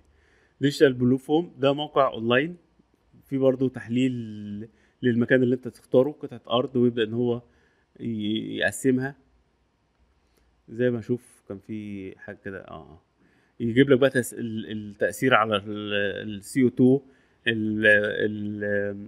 الشمس الرياح حسب المكان اللي انت هتختاره. تقدر تختار أي مكان وتبدأ تقول له طب أنا لو عملت أربع أدوار أو خمس أدوار التأثير بتاعه هيبقى عامل إزاي؟ بحيث إن هو يبدأ يساعدك في اتخاذ القرارات. هنا الموقع دوت بتقول له صمم لي آه، فيلا آه، مساحتها كذا يعني زي ChatGPT بس للتصميمات. فيبدأ إن هو يقسم لك كده ويقول لك دي الغرفة دي المفروض كوريدور ودي kitchen وهكذا. لكن لازم كل شوية أقرر إن ده ما بيلغيش دور المهندس أو المصمم بيساعده. يعني تخيل العكس إن واحد آه، ودي حصلت حقيقي. آه، صديق صديق بعت لي لوح اشعاعات تمام؟ كان عمل حادثة وعمل أشعة. فبعتها لي إن أنا أسأل بها الذكاء الاصطناعي والذكاء الاصطناعي يقول له يعمل إيه؟ فقلت له لأ الدكتور نفسه هو المفروض يشوف الأشعة ويقول لك تعمل إيه؟ إنما أنا لو شفتها وقال لي اقطع الرجل. يعني ممكن اخد قرار غلط. يعني تخيل واحد عايز يبني الفيلا عشان يوفر آه، فلوس راح على الذكاء الصناعي وبنى الحاجة وشكلها جميل لكن فوجئ مثلا إن ما فيهاش تهوية طبيعية إن تكلفة عالية إن هو مش قادر يعيش فيها. فلأ يعني دي بتساعد المهندس وليس تلغي المهندس. دي برضو بتساعدك في التصميم. ده برضو بتديله يصمم لك اللي اوت في ثواني مجرد إن أنت بتديله الأبعاد بتاعت الأرضية وهو يعمل لك تصاميم وأنت تبدأ تختار. ده مثلا حاجات جميلة جدا ودي بيستخدموها في الحرم المكي والمدني إن هو يعمل تحليل للناس هتبقى ماشية إزاي. يعني من ضمن المشاريع مثلا موجود دلوقتي آه عايزين مثلا يعملوا آه في الحج مثلا عايزين يدرسوا الناس هتمشي إزاي وبالذات الحمامات والحاجات دي كلها فالدخول والخروج هيبقى عامل إزاي لو في مثلا كذا دور وهكذا. فالبرامج دي ال MassMotion بيبدأ يحلل المكان دوت. طب لو حصل حريق في مكان الناس هتمشي إزاي؟ وهكذا. لا محتاجين نكبر السلم شوية محتاجين إن إحنا آه، نعمل مسار آخر. فدي بتدينا حلول. زائد إنها بتراقب في الوقت الحقيقي. هنا حاجة جميلة جدا اسمها generative design أنا دلوقتي ممكن أقول له إيه؟ اعمل لي التصميم الفلاني. فهو فعلا عمل التصميم الفلاني. طب أنا عايز ممكن يكون في تصميم أحسن. فأقول له طب اعمل لي 20 تصميم. فعمل لي 200 تصميم. 200 تصميم. هل هقعد أدرسهم كلهم؟ لا أقول له إيه؟ أنا عايز أي التصميم اللي هو فوق خمس أدوار أنا مش عايز أي حاجة فوق خمس أدوار. الغيهم لي كلهم وركز لي على التصاميم اللي هي من دور لخمس أدوار. فيبدأ يلغيهم. طب أنا مش عايز التصاميم اللي هي آه، فيها steel. أنا عايز كله آه، concrete. فيبدأ يلغي التصاميم لحد ما يوصل للحاجة اللي أنا عايزها. يعني generative design ده هيعمل لي تصميم كتير قوي بشكل رائع. أنا بقى أقول له لا طب أنا عايز قواعد معينة. يعني ممكن أقول له مثلا إيه وزع لي الكراسي اللي موجودة في في المطعم ده فوزعهم لي أوجد لي كل الحلول الممكنة. أقول له بس أنا مش عايز آه، يبقى في مكان مش شايف الشارع. أي تصميم كان في أماكن يعني معتمة ومش شايفه الشارع الغيها لي. يعني نستخدمها في حاجة تانية. طب اعمل لي كذا اعمل لي كذا. بدأ يجيب لي التصاميم فعلا ال- اللي ترضيني أو فيها المواصفات بتاعتي. الحاجات دي كانت ممكن تاخد وقت كتير قوي. دلوقتي أصلا الحاجات دي أصلا متسطبة جوه ال Revit. يعني ال Revit نفسه موجود فيها جاهز. زائد إن أنت ممكن تسطب tools زي EvolveLab اسمه موجود أهو تحت أهو. يبدأ إن هو يوجد لك الخاصية دي. تمام؟ في قلب ال Revit هتلاقي حاجة اسمها generative design تدوس عليها يبدأ يقول لك طب أنت عايز تقسم إيه؟ أنا عايز مثلا شكل mass بس يديك حلول كتيرة تقول له أنا عايزهم لو في حاجة مثلا ارتفاعها كذا إلغيها. لو في حاجة كذا تبدأ إن أنت تشيل الشروط اللي أنت مش عايزها لحد ما توصل للتصميم اللي أنت عايزه.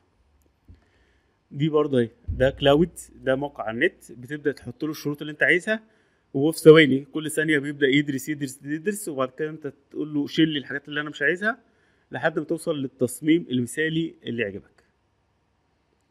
برضه داينامو في الخاصية ديت دي برمجة مرئية يعني مش محتاجة إن أنت تكتب كود تقدر من خلالها تعمل generative design يعني يحط لك حلول كتير ده موقع بيحلل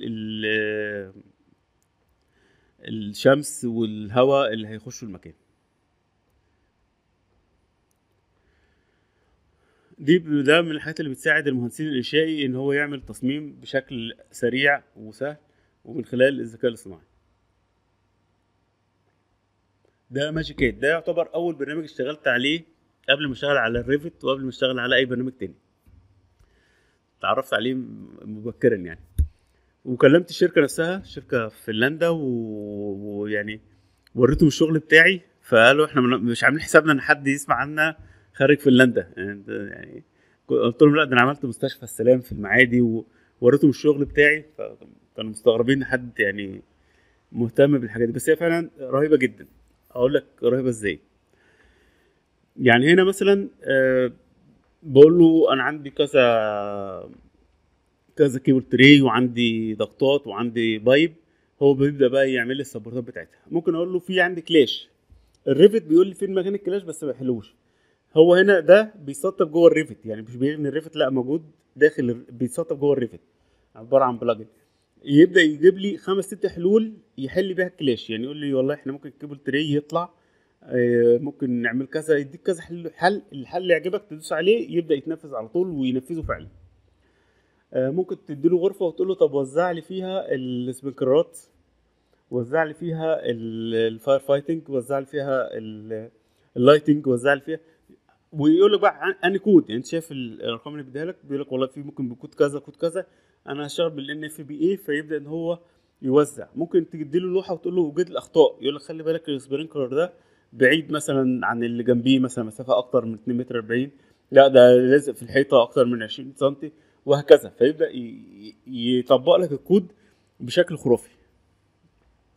فده ال MagiCAD وده مركز على ال mechanical وال electrical. عشان ما حدش يقول إحنا مركزين على العمارة. لا موجود. طيب نرجع بقى للعمارة. ده دكتور محمد عبد الشكور جامعة الجلالة. كان عامل الموقع الجميل دوت. ممكن أقول له interior AI يعني أي صورة عندي interior هديها له وأقول له اعملها لي وزع ال interior بأسلوب معين فيبدأ إن هو يوزعه لنا. ال exterior يبدأ إن هو يعمله لنا. أديله sketch sketch يعني حاجة مرسومة خط الإيد كده بسيطة خالص يبدأ إن هو يعملها لنا. وكذلك landscape AI طيب ال interior AI اهو.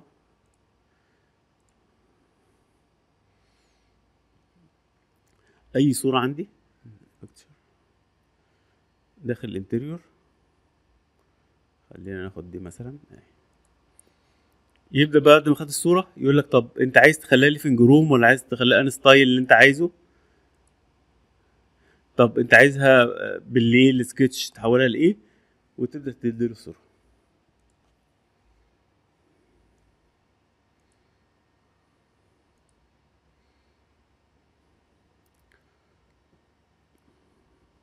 دي صور أنا كنت عاملها دي اللي هي جامعة الجلالة قلت له اعملها لي بشكل زها حديد فبدأ إن هو يشتغل عليها.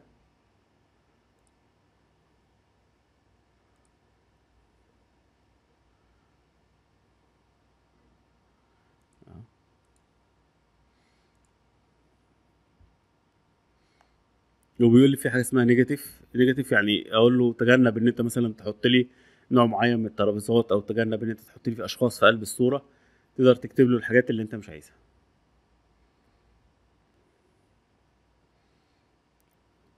تمام؟ فبدأ يعمل لي التصميم وتقدر تغير له النوع الحاجة اللي انت عايزها. فأتمنى تجربوا RoomGPT. أي غرفة عندك هتصورها وتدي الموقع ده فيقول لك دي الصورة الأصلية ويبدأ إن هو يغيرها لك حسب ال style اللي انت عايزه. هوم ستايل بيساعدك في عمل تصميمات 3D وبيوفر معاك وقت كتير قوي وموجود على الموبايل. هتلاقي الشرح بتاعه كل حاجة هتلاقيني شارحها بالتفصيل في فيديو مستقل. Coohom ده خطير جدا. في ثواني بتقدر تصمم الحاجة اونلاين من غير ما تسطب أي برنامج وتقدر تعمل render عليه برضه. ده موقع اسمه Runway ML الموقع ده فيه خدع سينمائية كتير فيه خدع على الصور فيه خدع على الصوت. ممكن تديله فيديو وتقول له الغي العربية دي من قلب الفيديو فهو يتتبع العربية ويلغيها من كل الفريمات ده صراحة كان أكتر موقع لقيت فيه حاجات قوية جدا. فمثل الذكاء الصناعي إن أنا ممكن يعني خدوها وعد مني إن مش هيبقى فيه برنامج سواء كاد أو بيم غير لما يكون فيه ذكاء اصطناعي. ليه؟ لأن هيسهلك كتير جدا. البرنامج اللي مش هيبدأ يدخل في الذكاء الاصطناعي وده من ناس جوه اوتوديسك وجوه كل الشركات اتكلمت معاهم أبحاث بتدور في السر إن إزاي يزود خصائص الذكاء الصناعي في الإصدار الجديد اللي هينزل قريب. يبقى في ذكاء صناعي كده موجود يتعلم منك يحفظ المعلومات يبدأ إن هو يتناقش معاك. آه يعني في حاجات أنا شفتها بس مش ما قدرتش أجيب لها فيديو بس دي حاجات موجودة فعلا. إن مثلا هتفتح برنامج 3D Max أو تفتح برنامج ال Revit أو تفتح برنامج ال ArchiCAD تكتب كده prompt تمام؟ تقول له أنا عايزك تعمل لي تصميم لمبنى آه بيلف حول نفسه. هتكتب له كده text كأنك بتتكلم شات على الواتساب تلاقي الحاجة دي اتعملت تمام؟ وموجودة شفتها في برنامج اسمه Blender ده برنامج عامل زي 3D Max و open source ومجاني فناس كتير ركزوا عليه وبدأوا إن هم يعملوا حاجات زي كده. وال Rhino برضو شفتها جواه إنك تقدر تقول له تكتب له كده كأنك بتكتب بالعربي. يعني أنت مش ملتزم ببرمجة أو ملتزم بكود أو ملتزم بطريقة للصياغة. حتى ممكن في أخطاء إملائية ويعديها لك تقول له اعمل لي كذا كذا كذا يبدأ إن هو يعملها لك. ده جوه ال Revit بقى في حاجة اسمها Envelope Lab ده فيه شوية خصائص حلوة قوي ممكن تديله صورة وتقول له اعمل لي render مختلف عليها. ممكن تديله مثلا توزيع زي كده وهو يبدأ يوصل بينهم.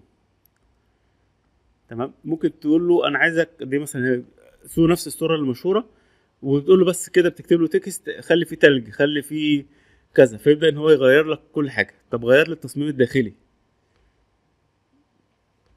هنا ال generative design بتبدأ تختار ال design اللي أنت عايزه وهو يبدأ إن هو يعمله لك. ده جوه ال Revit نفسه.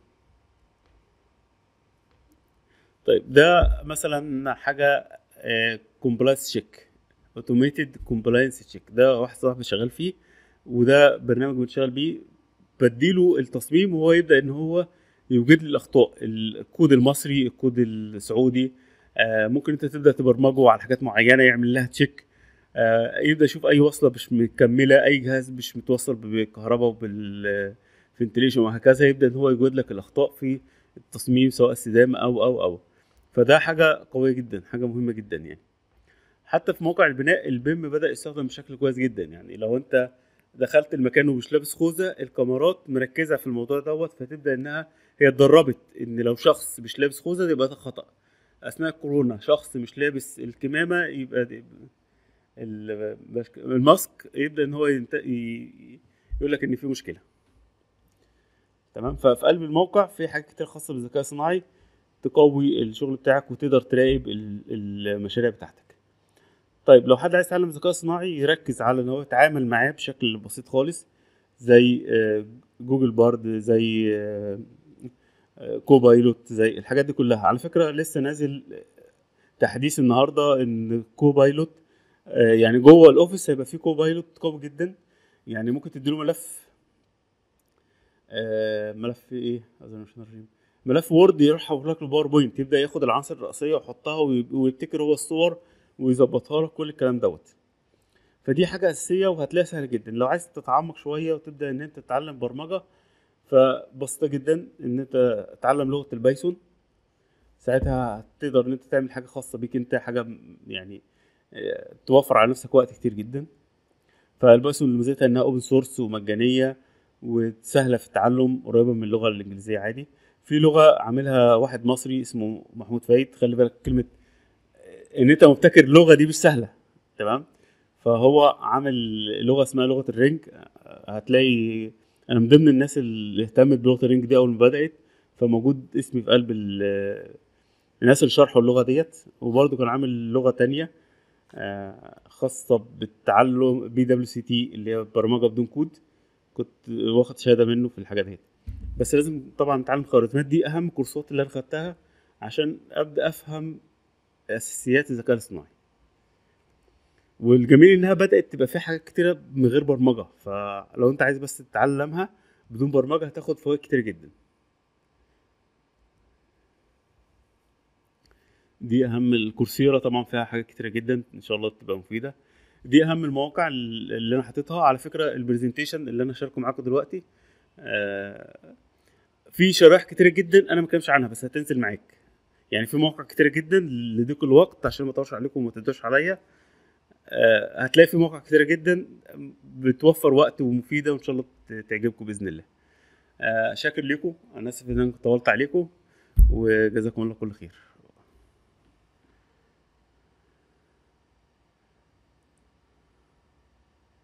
شكرا مهندس عمر على هذا العرض الرائع. الموضوع طبعا مهم جدا.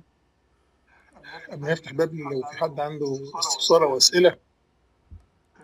مدى تأثير الاي اي على ال- على المهندسين؟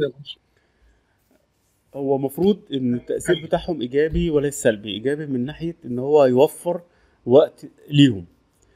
آه، وال- والذكاء الصناعي مش هياخد مكان المهندس لكن لو الواحد ما اتعلمش الذكاء الاصطناعي فهيلاقي إن زميله هو اللي اتعلم الذكاء الاصطناعي هو اللي خد مكانه.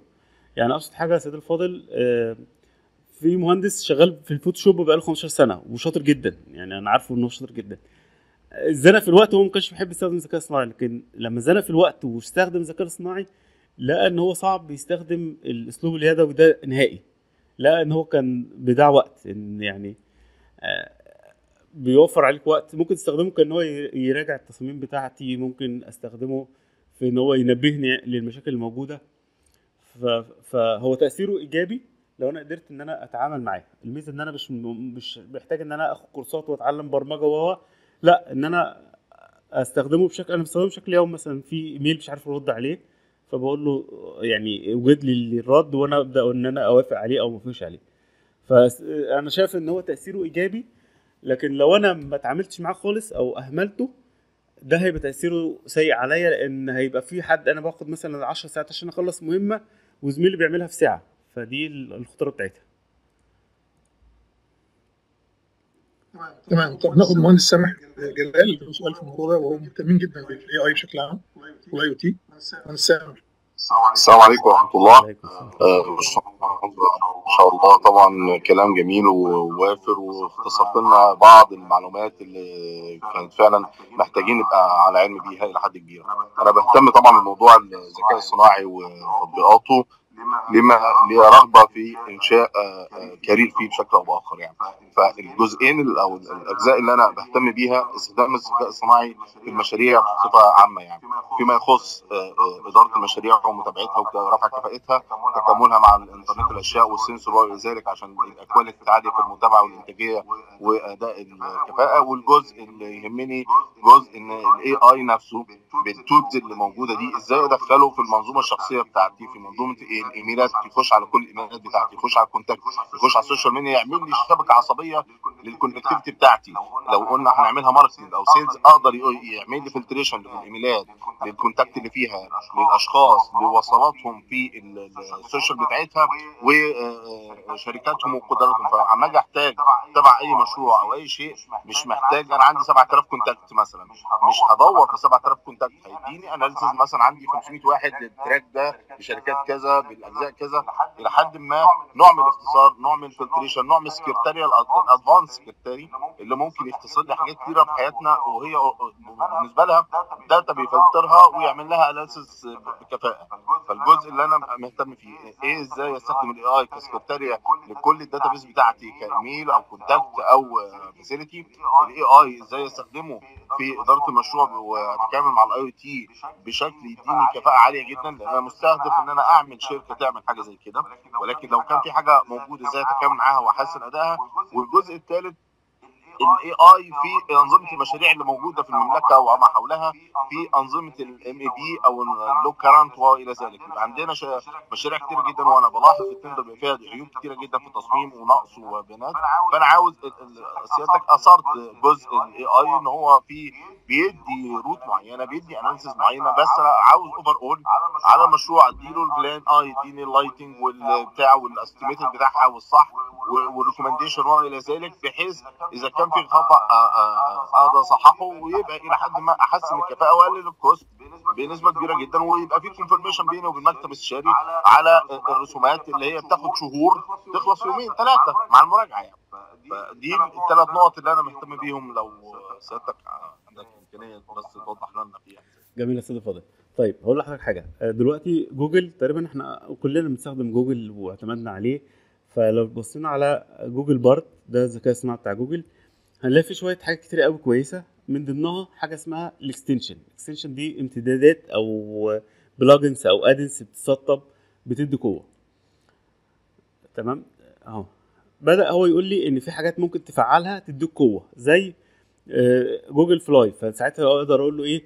أنا بفكر إن أنا أسافر المكان الفلاني فوجد لي أفضل رحلات طيران وحاجات زي كده. و hotel و maps ويوتيوب يوتيوب ممكن أقول له لخص لي فيديو طويل لمدة ساعتين. طيب في حاجة بقى أنا حتى الآن ما خدتش قرار إن أنا أفعلها ولا لأ. Google Workspace ده لما تفعلها جوجل هيبقى قوي جدا معاك. بس أنت بتديله صلاحية إن هو يقرأ كل الإيميلات بتاعتك ويتعامل معاها ولما بعد كده تقول له مثلا إيه أنا عايز أخرج مع واحد صاحبي. يقول لك آه أخرج مع كله ما عدا تامر لأن تامر أنت كنت عامل معاه مشكلة. أنت عرفت منين؟ ما أنا قريت الإيميلات. تديله صلاحية إن هو يقرأ كل الملفات ال Drive اللي أنت كاتبها. تديله صلاحية إن أنت يقرأ كل ملفات ال documents اللي موجودة ويلخصها ويدور. ساعتها أي سؤال هسأله له بعد كده هيجاوب من خلال Google Workspace تمام؟ هيجاوب من خلال الايميلات بتاعتي من خلال المعلومات بتاعتي. فهو أصبح سكرتير شخصي. لو أنا قلت له إيه أنا عايز أروح للدكتور بكرة عشان آه، سناني وحاجات زي كده يروح قايل لك خلي بالك آه، إن أنت بكرة عندك ميعاد في النادي. تمام؟ تقول له والله أنا جعان فعايز تجيب لي محل يكون بيبيع بيتزا جنب البيت. يقول لك خلي بالك أنت الدكتور بعت لك إيميل إن أنت عندك السكر المفروض ما تاكلش بيتزا. ده ده حقيقي مش هزار. ده ده هيبقى كده. فده هيبقى أساسي معاك في الشغل. لو أنت فعلتها وإيميل شغل مش إيميل شخصي هتلاقي مزايا كتير جدا موجودة. هيبقى حاجة زي حاجة شخصية كده بالنسبة لك. جوجل مثلا من ضمن الحاجات اللي موجودة الجميله help my write ساعدني في الكتابة. تمام؟ أي ايميل بيجي لي تمام؟ بس أنا مش هقدر أفتح أي ايميل عشان ما أعرفش إيه اللي موجود فيه. فأقول له مثلا رد لي على الايميل فهو يبدأ يرد لك على الايميل تمام؟ أقول له مثلا إيه؟ آه، اكتب لي CV أو اكتب لي letter for ال CV أو اكتب لي conference فيبدأ يكتب لك كل ال- اللي أنت عايزه. يعني برضو مثلا هنا في في في ال في ال Office سواء ال Office بتاع مايكروسوفت أو ال Office اللي موجود في في جوجل تقدر تقف أي حتة فهو يبدأ إن هو يكتب لك تمام؟ حتى هنا مثلا مسطبين إن هو حاجة هنا اسمها Duet AI تمام؟ تقدر إن أنت تقول له اعمل لي كذا فيبدأ إن هو يفلتر لك الإيميلات ويبدأ إن هو يجيب لك معلومات. فعلا لو اتعاملت مع الذكاء الاصطناعي بالذات جوجل بارد ممكن تديله data كتير قوي تديله مثلا ملفات ال- ال- الشركات وقول له هات لي الموقع بتاع كل شركة فيهم فيبدأ إن هو يجيبها لنا. حاجة حاجة حاجة حاجة خرافية. آه، موضوع الذكاء الاصطناعي في, في البرامج والحاجات ديت في تنظيم الشغل والحاجات دي كلها أقرب تحديث هيحصل في كل البرامج اللي أنت فيها هيبقى فيها ذكاء اصطناعي. يعني مثلا برامافيرا دي تلاقي. آه تحديث إن الذكاء الصناعي بيدخل جوه الداتا وبيشوف انت بتعمل إيه بصفة دورية ويعملها لك. يعني هو مش هينزل حاجة مخصوص لا ده كل واحد حاجة مخصوصة خاصة بيه. أنا مثلا متعود إن أنا أعمل كذا هو يعملها لك تلقائي. تمام؟ ففي حاجات كتيرة بدأت إنها تنزل بالذكاء الاصطناعي. مفيش موقع دلوقتي غير هو مثلا معتمد على الذكاء الاصطناعي في بعض الحاجات وإلا الناس هتسيبه. يعني في موقع مثلا كنا بنعمل search على الصور بدأ يقول لك أنا ه create لك أنا الصور بدل ما تدور عليها قول لي بس فكر فيه وأنا اعمل لك الصور. في مثلا هوريك موقع مثلا أنا بستخدمه بصفة يعني يوميا اسمه Canva تمام؟ أي حاجة بيفكر فيها هو يقدر إنه يعملها لك. الموقع ده كان موقع بسيط من خلال سنة. دلوقتي بقى مرتبط بحاجات كتير قوي. عايز تعمل CV قول له اعمل لي CV تمام؟ يروح عامل لك ال CV ويبدأ يمشي معاك خطوة خطوة لحد ما يعمل لك ال professional CV بتاعك. عايز تعمل whiteboard تشرح عليها يعملها لك. presentation يعمل لك ال presentation ال presentation أنا بقول له اسم ال presentation أنا طلب مني محاضرة في الإمارات لموضوع معين وأنا كنت مسافر في مصر وكده. فدخلت بس قلت له اعمل لي presentation عن الموضوع الفلاني. فعمله لي وقريته كذا مرة واتاكدت إن المعلومات سليمة وعدلت عليها شوية واديت المحاضرة. فوفر لي وقت كتير قوي. ال apps اللي موجودة جواه هو رابط نفسه بمواقع كتير قوي. بتلاقي حاجات قوية جدا حاجات لتنظيم الوقت حاجات لل productivity اهيت ماشي؟ في حاجات كتير قوي. ده موقع كان موقع بسيط خالص لكن هو اعتمد إن هو يربط نفسه بموقع الذكاء الاصطناعي. ممكن أقول له اكتب لي بحث علمي وأبدأ أشوفه وأتأكد إن المعلومات اللي فيه مش مضروبة. آه الحاجات دي كلها. آه، جوجل Bard على فكرة لو في خاصية لسه منزلينها آه، النهارده. خاصية مثلا لو أنت سألته أي سؤال آه، أنا مثلا كنت بسأله أفضل مكان لشراء كوره في القدم ورحنا فعلا اشترينا الكوره النهارده. معاذ ابني كان عايز كورة. بعد ما يديك المعلومة ممكن تدوس على الزرار ده ده اسمه double check double check يبدأ يجيب لك إيه كل حاجة يبدأ يجيب لك المصدر بتاعها يعني هو قدر يوصل لها من أنهي موقع عشان تاكد إن المعلومات دي مظبوطة ولا لأ. تمام؟ فيبدأ يجيب لك إن دي آه، جابها مثلا من هنا من جوجل search وجاب لي الموقع اللي هو سيت سنتر دوحة مثلا.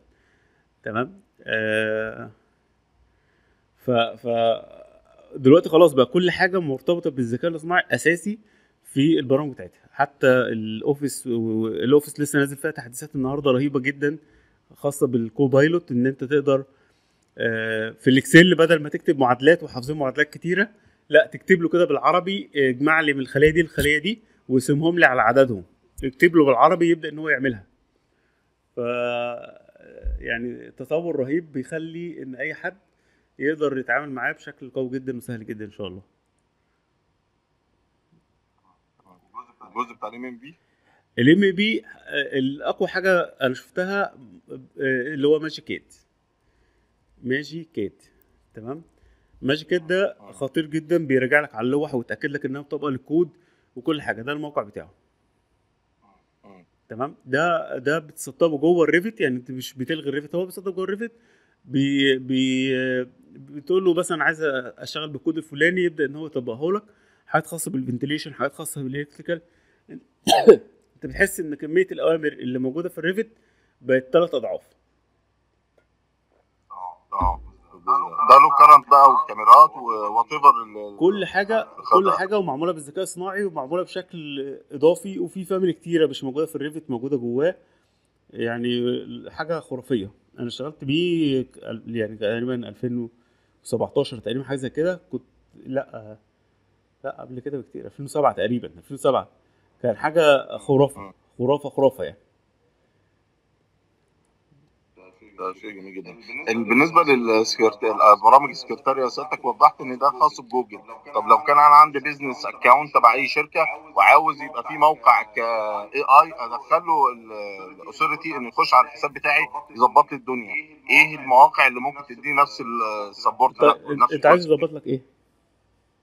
أنا عاوز يديني filtration عندي مثلا آه، 7000 ايميل عاوز يفلتر لي العملاء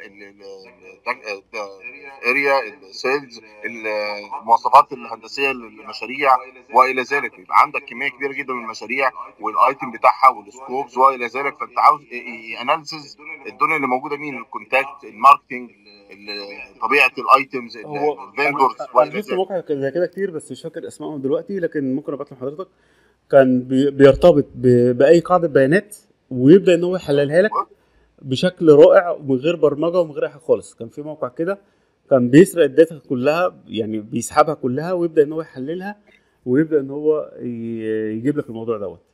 فانا موجود آه موجود حاجة زي كده آه كان موجود وشرحته بس مش فاكر اسمه الصراحة. آه، برضه ممكن تدخل على على جوجل Drive وتقول له أنا عايز ال ال- ال Excel اللي عنده يبدأ إن هو تديله ال data ويبدأ إن هو يحللها. لكن في موقع كان متخصص من غير copy paste ولا حاجة يبدأ إن هو يسحب ال data ويحللها ويديك النتيجة. هشوف لك اسمه وأبعته لك إن شاء الله. تسلم تحت تسلم أمرك يا باشمهندس. شكرا مهندس عمر. هناخد المهندس أحمد إمام.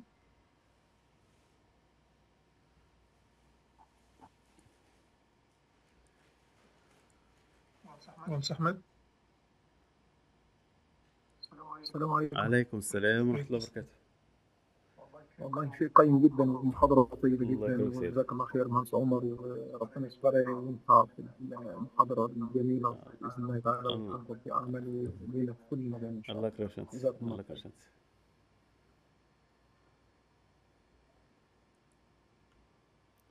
مهندس أحمد في في سؤال ولا؟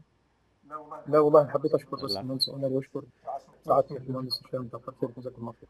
ربنا يبارك فيك ربنا يبارك فيك. البروفيسور أحمد القطان.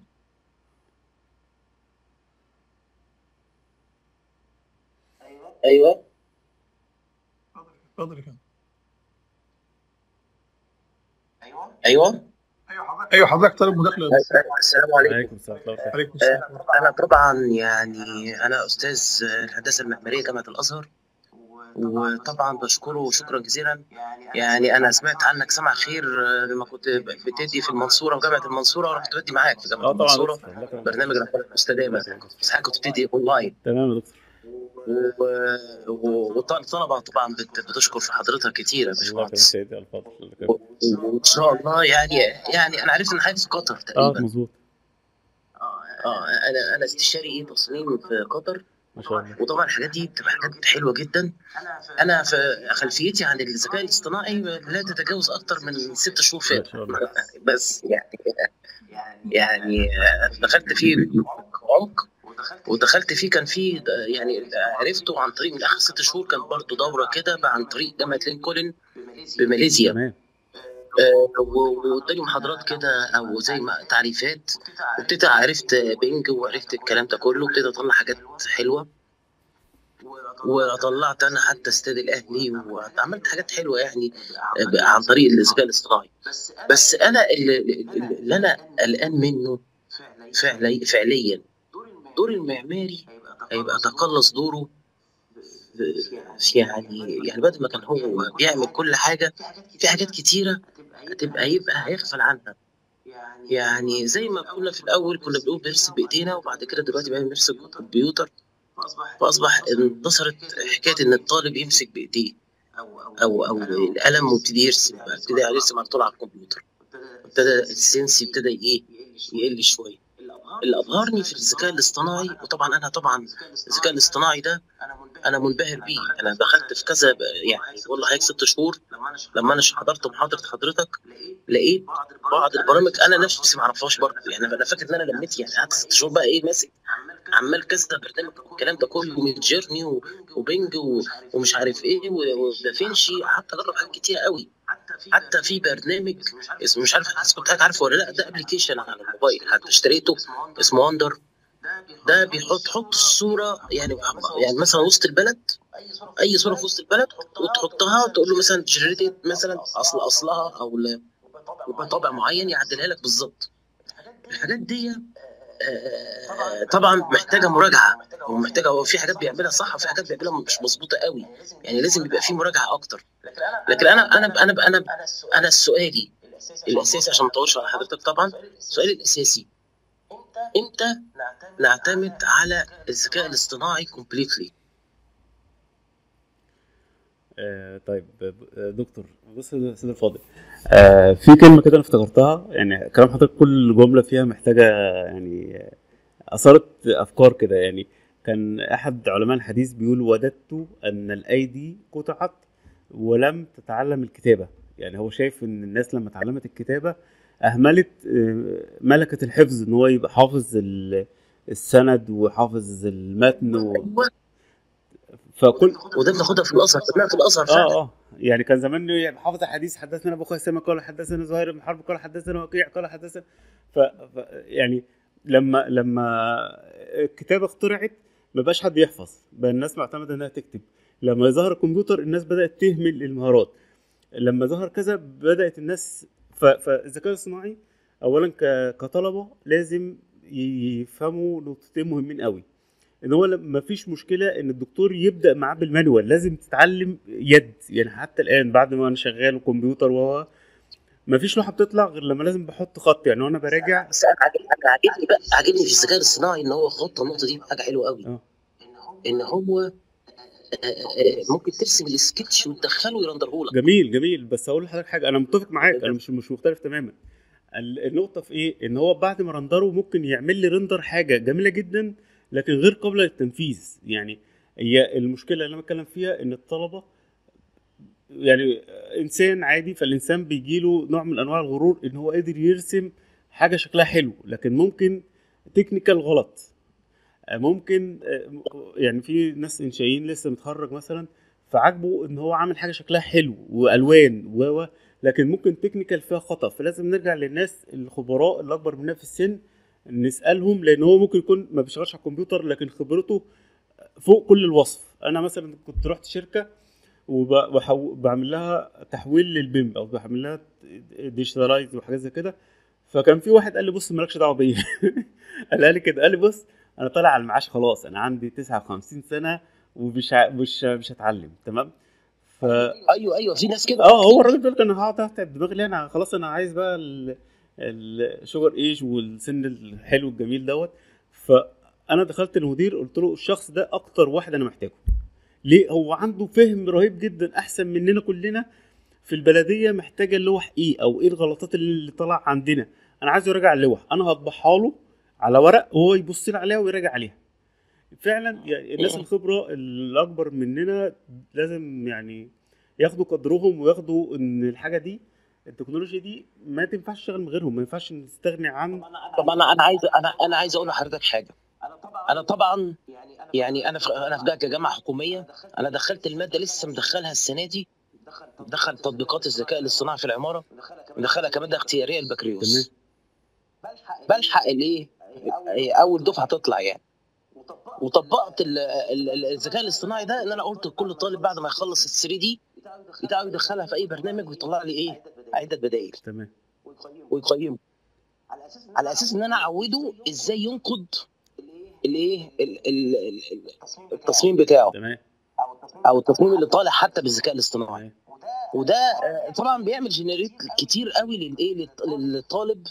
بس أنا من خلال خبرتي البسيطة اللي هم ست شهور دول لقيت إيه؟ لقيت برضو إن الذكاء الاصطناعي ما بيديش المنتج الصح إلا للي بيوصفه صح وفاهم. يعني بقى لازم يكون عنده علم وعنده دراية وعنده ت- علم بالإيه؟ بالنظريات علم بال بتكوينة الكتل علم آه. بال... طبعا طبعا. بأهم المعماريين. يعني ما ينفعش برضو إلا لما يكون متخصص يكون فاهم هو عايز إيه. طبعا طبعا. أنا طبعا أنا أنا آسف طولت عليك. آه، باشمهندس عمرو. وإن شاء الله أراك على خير لو في مصر ولا في أي حاجة آه، يا ريت أتمنى إن أنا أراك على خير إن شاء الله بإذن الله. دكتور إحنا فعلا في جامعة المنصورة كنا عملنا بعض الصور و... وقلنا لهم انتقدوا. يعني دي الصورة أهي كنا تخيل ال... الاحتفال أثناء عصر الأسرات. فقولوا لنا فين الأخطاء اللي موجودة في الصورة معماريا. فكان في أخطاء كتيرة بنبدأ. نناقشها. يعني مش بقول لهم إن الصورة تاخدها copy paste لا. أيوه أنا أنا تطلع. أنا أنا, أنا في جامعة المنصورة أنا عندي حوالي أربعة أو خمس طلبة عملوا تصميم بالذكاء الاصطناعي مع إنهم تاني عمارة. ما شاء الله. آه رائع تمام. يعني كان مركز شباب الوافدين والجامعة وعملوا التصميمات ولا كأنها إيه؟ ناس مكاتب. تمام تمام. ما هو هو الفكرة كلها إن هو ما ياخدش الحاجة؟ ده ده بهرني آه. طبعا يعني كشغل هنا كطلبه مثلا قلت له اعمل لي تصميم. هم عارفوا يعملوا الكلام ده. في هنا الطلبة اللي شغالوا معاه فيها تصميم مثلا لفيلا الدكتور سنان فعمل مثلا حاجات بالشكل دوت. آه، هنا دكتور مهندس إنشائي فبدأ يركز على الأعمدة أكتر في الفيلا بالأشكال ديت. مم. آه، هنا قلت له مهندس معماري فبدأ يعمل لي حاجات معمارية اللي هي بتبقى بسيطة خالص ف يعني افادني كتير جدا يعني ما خدش مني ثواني إيه أفضل ال- آخر آخر سؤال بقى إيه أفضل ال- البرامج اللي هي ال AI اللي هي بتعمل animation عايز تعمل فيلم كرتون؟ مش كرتون يعني حاجة animation معمارية. آه حركة حركة معمارية. آه آه آه. والله ممكن تكون الصورة على Microsoft Bing وبعد كده تدي آه، تديله حركة على Leonardo. Leonardo بيعمل حركة. تمام؟ أو ممكن آه. تسطب آه، Pinokio. ما فيش حاجة فيها شاشات مثلا ويحولها لي فيديو. بص هو في في موقع في برنامج اللي هو Pinokio ده بيخليني أسطب بعض الحاجات ال open source فساعتها بتحكم في حاجة. هتلاقي حاجات تحرك لك أي صورة أنت عايزها ويخليك تتحرك جواها. أو خش على Runway Runway ده بيدي حركة رهيبة جدا. Runway 2 آه. ده ممكن أقول له أنا عايز حاجات خاصة بالفيديو. الحاجات دي لو اتعملت على After Effect ممكن تاخد أسابيع. هو بيعملها في ثواني. تمام؟ اسمه اسمه Runway تمام؟ ده الموقع ده فيه حاجات فيديو خطيرة جدا. Runway آه آه ده ده أحسن حاجة فعلا animation ويعني من من زمان جدا شغال في القصة دي. ماشي. جزاك الله أمرك يا باشمهندس عمرو. وأنا وأنا تحت أمر جامعة الازهر كلها. تتشرف شرف ليا يا بيك دكتور. لا ده شرف ليا ده رقم آه يعني أي حاجة تحت بإذن امرك الله يا دكتور. تسلم يا دكتور. الله يكرمك. ماشي. وإن شاء الله أراك على الله خير يكرمك. شكرا جزيلا. الله يكرمك. ماشي يا حبيبي. ماشي اتفضل يا حبيبي. شكرا دكتور احمد القطان شكرا مهندس عمر. وتحية على ذكر المنصورة. كانت لها في القلب. ما لها من مكان كثير وجماعة المنصورة في المقام الأول. آه، مهندس عمر أعتقد في الحوار مع أحمد القطان السؤال اللي طرحته في الأول تأثير الذكاء الاصطناعي على فرص العمل بشكل عام والمهندسين بشكل خاص. آه، ظهرت من بين ثنايا الحوار هي هتقلل عدد الفرص المتاحة وإن و- و- وإن لم تلغي الاحتياج لمهام أو مهن أو وظائف محددة بالطبع العمل اللي كان بيعمله 10 مهندسين. هيعملوا مهندس وجزء من الوقت باستخدام الذكاء الاصطناعي. لذا يجب علينا أن نبحث في آه، في في في تطوير في تحديث في آه، إيجاد فرص عمل آه، جديدة لاستيعاب الكم الكبير من المهندسين. عمر؟ طبعا يا دكتور طبعا. طبعا أستاذ ربنا يبارك فيك. أنا أستاذ حضرتك هرفع بس الملف في قلب الشات لو حد عايزه. ال presentation. اتفضل. لا هو طبعا الشات بعد ما ننهي هيختفي. ابعت فلو كده حاضر المهندس سامح نحطه على قناة تليجرام. باشمهندس عمر إحنا بنحط على المنصة بتاعتنا وبنبعت له خلاص حاضر. هبعته لك برضه حاضر. تمام ماشي يا دكتور. إن شاء الله. شكرا شكرا. مهندس عمر على هذا الموضوع الهام جدا وهذا الشرح الوافي وهذا التحضير الجيد. وهذا الاثراء آه، في النقاشات والتفاعل مع المهندس عمر وهو العهد بك. وعلى وعد إن شاء الله بلقاء آه، قريب آه، متجدد إن شاء الله. أكثر تحديثا بما سنواجه خلال الفترة بين اللقاءين والعالم يتطور بشكل سريع ومذهل جدا. الإخوة الأفاضل آه، قربنا من نهاية لقائنا الممتع. والماتع مع المهندس عمر سليم. موضوع غاية في الاهميه الأخوة الراغبين في الحصول على شهادة حضور لهذا اللقاء عليهم تعبئه نموذج التقييم الموجود في الشات حاليا وأيضا موجود على آه، حساب تليجرام الخاص بالمبادرة. المادة العلمية سترفع على حساب المكتبة الإلكترونية وحساب لينكد إن الخاص بالمبادرة. و- وأيضا اللي سيتم ارساله الايميل زي ما قال المهندس سامح لمن حضر هذا اللقاء. مرة أخرى شكرا مهندس عمر على هذا الأداء وهذا الوقت وهذا الجهد. جعل الله في ميزان حسناتك. لو تحب إضافة أخيرة مهندس عمر. آه، جزاكم الله كل خير وشكرا لحضرتك. آه، هي الفكرة كلها إن إن الموضوع لازم ندخل فيه لأن التطور رهيب جدا. يعني يوميا بيجي لي إشعارات كده إن في تطور في Google Bard تطور في Bing تطور في Midjourney. فلازم نبدأ على أساس نلاحق التطورات الموجودة. استعمله بأي حاجة يعني. أي سؤال عايز تسأله أي حد جرب تسأله Google Bard وشوف الإجابة. يعني الفكرة إن أنت تقدر تسأله بالعامية المصرية بأي لغة يقدر إن هو يديك إجابة تقدر إن أنت تبحث فيها وتتأكد منها. ممكن تقول له اكتب لي إيميل مثلا آه، تقديم على شغل هيعمله لك. اكتب لي إيميل آه، جزء معين في ال CV. طب اعمل لي CV لواحد خبرة قد كده في السعودية آه، مهندس كهرباء هيعملوا لك. هيغنيك عن حاجات كتير جدا ومواقع كتير جدا. فنتمنى بس إن إحنا نبدأ وإن شاء الله بالتوفيق يا رب. جزاكم الله كل خير. هل هل ممكن نعمل لقاء يبقى عبارة عن تطبيق آه، لمجموعة منتقاه من ال- المواقع. آه آه تحت أمرك. تطبيقات مختلفه بحيث بحيث يبقى الناس أكثر تفاعلا معانا. نعمله زي ورك ماشي تحت أمرك. يا ريت. فكرة ممكن كويسة. نفتح له وقت أكتر ويكون توقيته بدري شوية. تمام حاضر. آه، بحيث يناسب كل الناس هيبقى يوم الجمعه مثلا نقول مثلا سي من الساعة 4 تمام. من بعد صلاة العصر مثلا ناخد فيه وقت. تمام. مناسب نحقق فيه الفائده الاكبر للناس. الناس تبقى جاهزة الحالة دي بأجهزتها. و- وتجري تطبيق عملي لل- للدخول في التطبيقات دي والتعرف على آلية التعاون معها بإذن الله. حاضر. تحت أمرك حاضر. الله يكرمك خير. الأفاضل على وعد باللقاء إذا قدر الله البقاء وأمر باللقاء الجمعة المقبل إن شاء الله مع ضيف جديد وموضوع جديد. الدكتور المهندس محمد حسين استشاري الجيوتقنية ومشاكل التربة. وطرق معالجتها موضوع تمام مختلف تماما عن ما نحن عليه الآن.